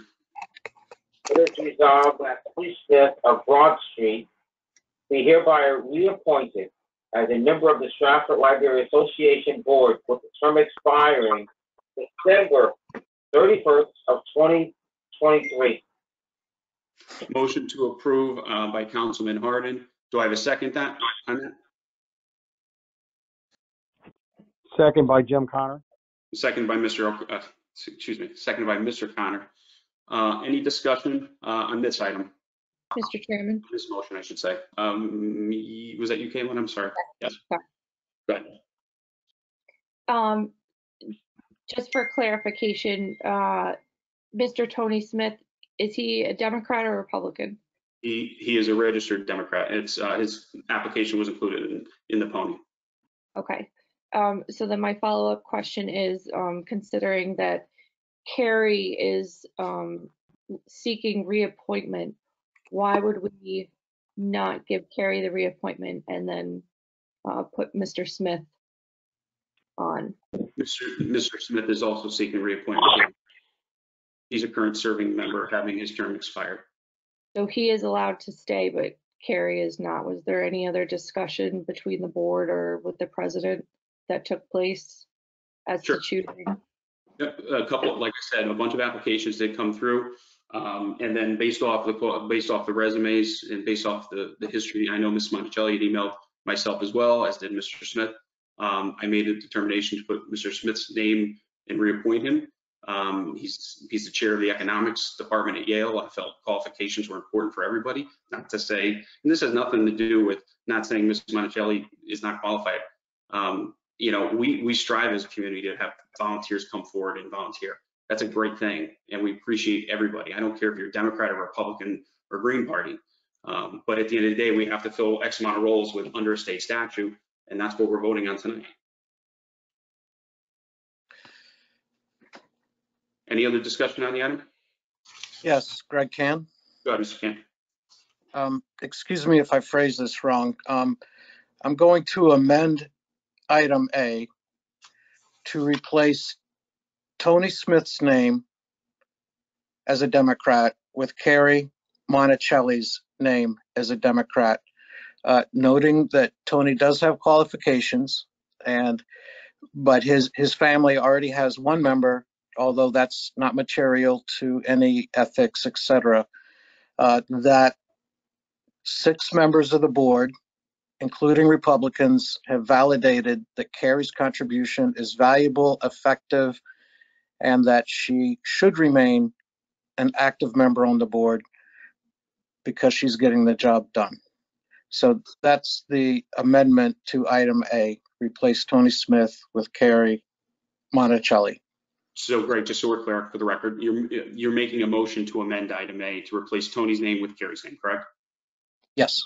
Okay. Motion by Mr. Cann to amend. Uh, I'll enter, um, is there a second? I'll second. Second by Ms. Shake. Uh, any discussion on the amendment only? No? Okay, we'll call uh, a vote for the amendment um, for Mr. Cann's motion. Uh, Excuse me.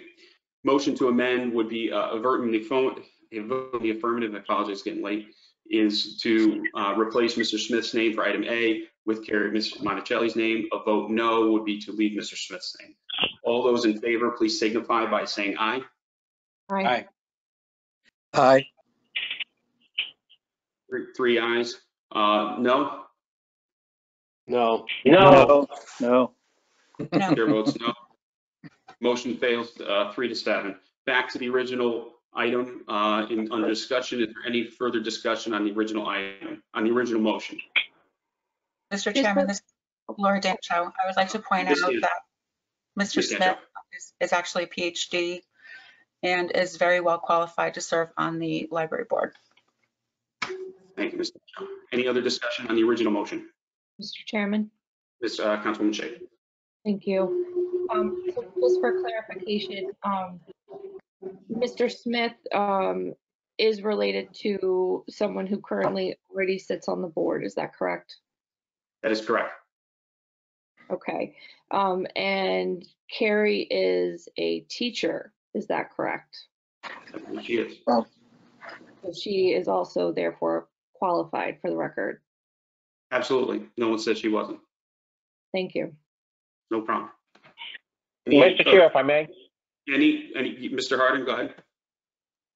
So again, uh, you know, the attorney said that there were no issues with, uh, you know, spouse or family relations being on the, the board. And needless to say that, you know, both candidates are both highly qualified. And, uh, but we have the votes for Tony, and I understand that, uh, you know, Caitlin Chick may have her, you know, ideas and views about it. But as we know that the vote wins, uh, the, the, the decision. And again, both candidates are highly qualified. And, uh, you know, and I support Tony, you know, um, you know, to be on the board. Is there any further discussion on the original motion? Mr. Chairman, Councilwoman Shea. vote. thank you. Um, Aye, aye. Councilwoman, you Part have the the- floor. part of the reason why, you know, some of us are asking so many questions is because, as far as I know, because we were all CC'd on the email, that we had received emails for supporting Carrie to be reappointed. So just for clarification, there, I didn't receive any emails to support Mr. Smith, Mr. Llewellyn, or Mr. Forrester. So that is the reason why some of us are inquiring and asking so many questions because as a board member and as community members and as residents here, they too are concerned. So we're trying to reflect that in the process. Thank you. No problem, Caitlin. And for the record, as we stated before, this motion, this vote is purely on Mr. Smith being reappointed, nothing else. And he's, as we've said, everyone is qualified. We have to make it a hey, this is a good problem that we have a lot of people that want to be on, on, on a certain amount of seats. And it's our job as elected representatives to determine those seats. So um, with that, I'll call this motion for a vote. We've had good discussion on it. Um, all those in favor of approving, uh, item 7.2A, reappointing Mr. Smith, please signify by saying aye. Uh, Greg Cann votes no. Chair votes aye. Any oppo, any opposed? I heard Mr. Cann, no. Any, any, vote. Mr. Taveras, Mr. Councilman Shake, no. All right, motion passes seven to three. Um, Next item on the agenda is item 7.8.2B. I'll entertain a motion. Mr. Chairman, this is Bill O'Brien. Mr. O'Brien. I move that Alan Llewellyn of Huntington Road be and is hereby appointed a member of the Stratford Library Association to the expired seat of Carrie Monticelli with a term that expires December 31st, 2023. Thank you, Count, excuse me. thank you. Second by Dave Martin. I have a second by Councilor Harden. Uh, Any discussion on Mr. Llewellyn's uh, appointment? Uh, Gregory Cann. Mr. Cann, go ahead. With respect, I'll refer back to 2.2.12, qualification of appointee. Uh, The nominator did not provide any evidence of experience or qualifications. And as the appointment is not immediately required, uh, I will ask that this be pended until such information is provided or until, uh, well, that's it. Uh, We we have to follow the charter. And Is there a motion, Mr. Cann? is there a motion? Uh, Attorney Leclerc, since the experience and qualifications of the nominee was not presented at the time of the nomination, that seems to me a technical violation of the charter. Your opinion, please. I think you raised a, a, a, uh point of information. I think that can be corrected right now by, uh, someone indicating the qualifications of, in this case, Mr. Llewellyn. Well, Either they referring back to his resume or not. Uh, it'd be up to the chairman to. Chair, if I may, Hold They chose, they chose not to provide it. So if you, if you, even after our discussion regarding the charter, the nominator chose not to provide the background, which we'd already noted was missing. I mean, if the Democrats don't get a chance to appoint their own representatives of a commission or board, at least the majority should provide the substance to demonstrate the qualifications. And even with that knowledge, they chose not to. Mr. Cann, I'm going to jump in right now. For the last year and a half, we've approved pretty much unanimously on this 10 council, 10 person council, based off the applications provided. Just now, this is the first time you've ever asked for more further qualifications. Here are some qualifications I am having put forth on Mr. Llewellyn. He is single-handedly probably one of the top five people most responsible for building based off his engineering background and structural engineering background, Stratford High School. He's well documented. He's a past councilman. I have profound respect for him, and I think he'd be perfect on the library board, being he's been wanting to go on it for years. And now by putting him on, it brings the, the majority, the Democratic majority under the state statute, which is why we're doing this, to get back in compliance, back to seven. I, I absolutely think he's qualified, and I stand behind that. Uh, Mr. Chair, if I may, I I second that. Dave Martin. There was no, there was, you're seconding the statement. Uh, noted for- I'm agreeing to the statement that you made, so I'm in support of Mr. Alan Llewellyn, and uh, all of us know him. You know, we know him by working on the Stratford project and some of the change orders and voting on it. So I, I, I understand what Greg is saying, that there were some people who, who provided, you know, additional information because maybe they weren't known by certain individuals, but Alan Llewellyn, again, you know, he's a dedicated, you know, resident to the community, and we all know him. Anything, any, any other discussion on the item? Mr. Chairman, Councilwoman Shake. um, does Mr. Llewellyn sit on any other boards, commissions throughout the town currently that you know of? He's on building needs. He's, he's the vice chairman of building needs. He's the chairman of the Stratford High Renovations Committee. He's a former councilman and a former zoning commissioner. Thank you, Mr. Poisson. Any other discussion on the item? Well, of course, uh, this is Bill O'Brien. While on council, he served on many committees, as we all do. And he's a, a, mu- a very loving father of a special need child and Thank you, Mr. O'Brien. Uh, Mr. Pia, ju- Mr. Thank you, sir. Um, Just short. Uh, It's not to question Mr. Llewellyn's dedication and our knowledge of his experience and qualifications. It's, uh, it- I'll go back to Paul Taveras' statement that we, if we keep recycling the same people, we will not have boards and commissions that represent the diversity of the town of Stratford. Does that mean you're not going to run, Greg? You're an old white guy like the rest of us. Yeah. Is that possible? Excuse me, hold on. Chairman, This- point of order. Hold on, time, time. Mr. Cann has the floor. Hold on. Greg, Wow. Greg, Yes, thank you, uh, Chairman. Um, Old white guys, we've carried the weight for a long time. And any party, any leadership, we should look for candidates that represent the diversity. That's the feedback I got from the six members of the board that I spoke with. Mm-hmm. And that may come later but this is an opportunity to do it now if we decide to pend this decision until next council meeting, when we can find qualified people of a diverse background that are willing and able and qualified to serve. Nothing against Gavin, nothing against Alan, just a hope for more diversity and representation. That's it. Greg, your point's noted. I will, hold on. Greg, your point's noted. I will say to you, and I'm sure you'll be happy to hear this, three months ago, uh, when I spoke with, the- with the chairman of the, of the association, we had this conversation. Um, and I don't let things move, I don't let things go, as you know me. I like to keep things moving effective and efficiently. So no, and I, like I said, I did receive a few applications. We've decided to move forward and nominate someone and put it to a vote. Um, actually, I'm, I didn't even know this because again, the application that we send out doesn't ask for, uh, you know, race and background. And, and if quite frankly, at the end of the day, I, I agree with you. A, a good representation of the town across is important. And you you know it's just as I. It's hard to get good people to step forward to volunteer in today's world. That's a fact. A Democrat or a Republican.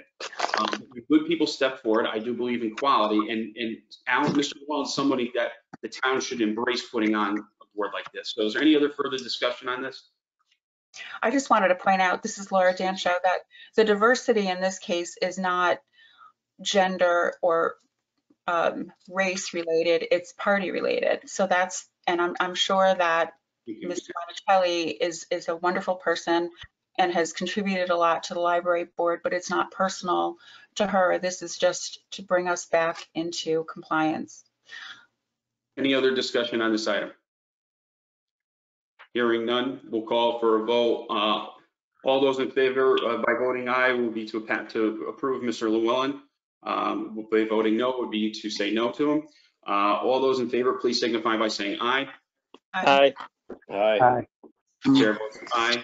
Any opposed? No. Mr. Taveras, Mr. Cann, um, Councilman Shake, you said no? Correct. Okay. Correct. Thank you. Got it. Okay. Uh, motion, excuse me, uh, motion passes seven to three. Um, next item is seven point eight point two, item C. I'll entertain a motion. Mr. Chair, Uh, Councilman Perillo. I'd like to see uh, Gavin Forrester from Orchard Street be appointed as a member of the Stratford Library Association, which expires 31st, 2023. Okay, mo, excuse me, motion by Councilman Perillo. Uh, I'll, do I have a second? Second by Dave Harden. Second by Councilman Harden. Uh, Any discussion on Mr. Forrester? Uh, Greg Cann. Go ahead, Greg. Um, I'll go back to 2.2.2. Um, if the nominator could discuss the qualifications and experience. Sure. Um, and in this case, Mr. Forrester willingly sent forth his resume, which is included. It's quite extensive.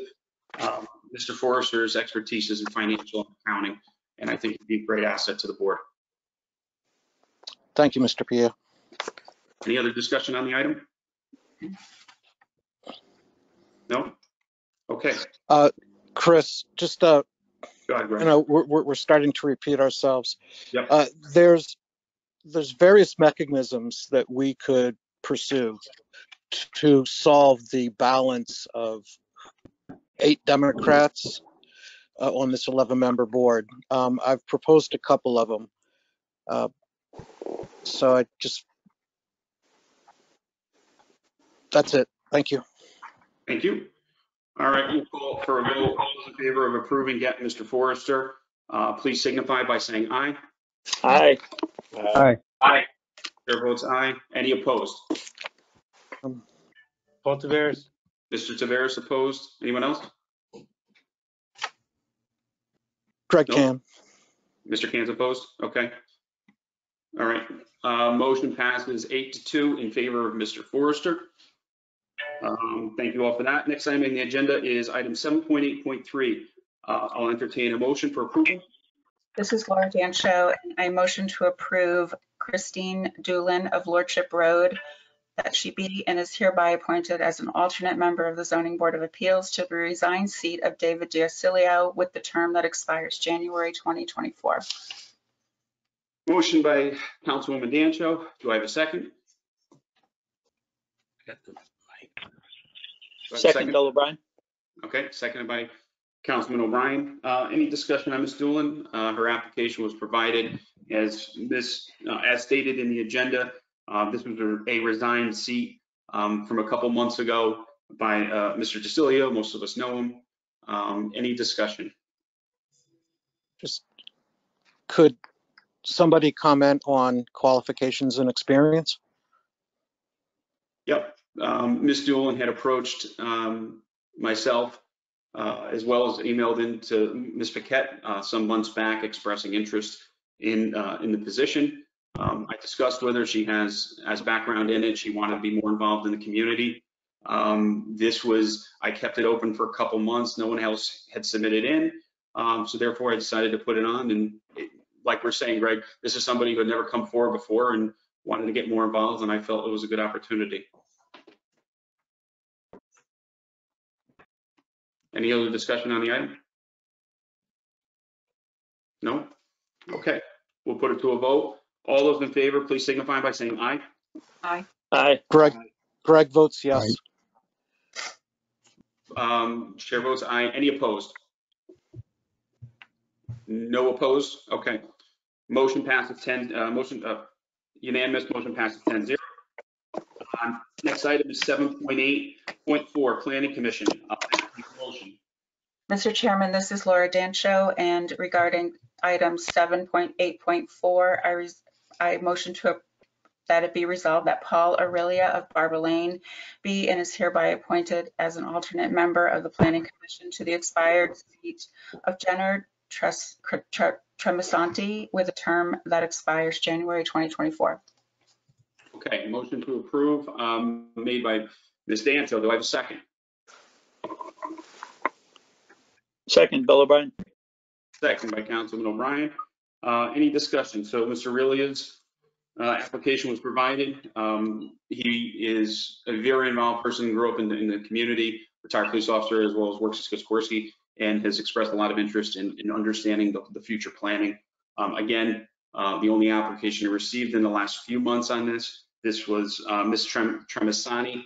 Um, Her seat expired, I believe, in January. I don't have my notes in front of me. Uh, and again, somebody new to the, new, new to the, new to the thing and wanted to put them, put them forth, so. Any other discussion? Okay. Hearing none, we'll call for a vote. All those in favor, please signify by saying aye. Aye. Aye. Greg Aye. votes yes.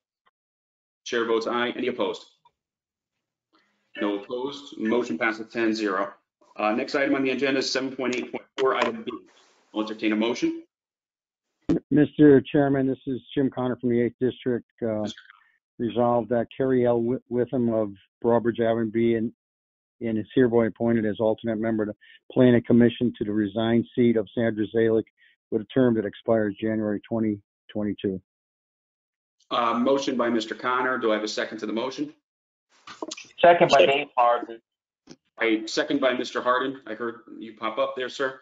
Uh, For discussion, Ms. Whittam's application was provided.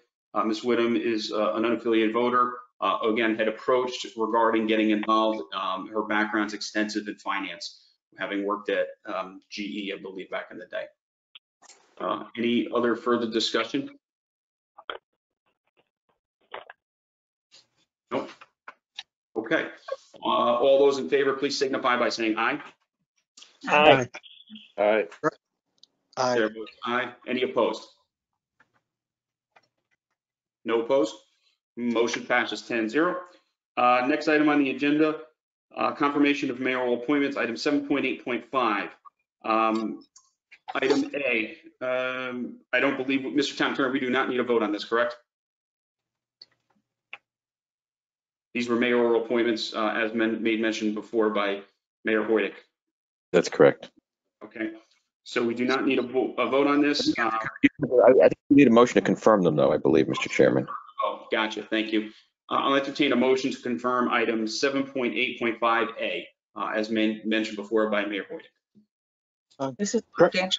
I motion to um, confirm item 7.8.5A. Motion by Councilwoman Dancho, do I have a second to the motion? Greg Cann. Seconded by Mr. Cann.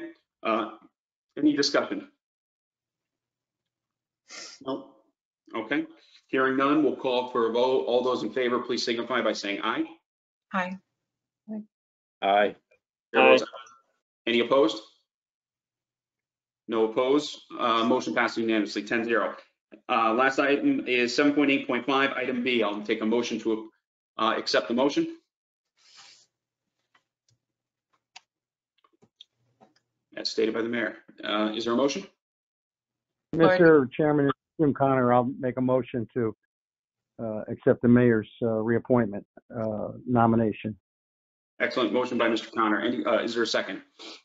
The motion is for the reappointment and the appoint, it should be for the reappointment of Ryan Aaronhouse and the appointment of Megan Merwin, Mr. Chairman. Mr. Connor, if you can restate it for the time. Okay, I'll read, I'll read it again. Uh, That the mayor's reappointment of Ryan Aaronhouse and appointment of Megan Merwin as a full member of the Historic District Commission be and is hereby confirmed. Motion by Mr. Connor. Do I have a second?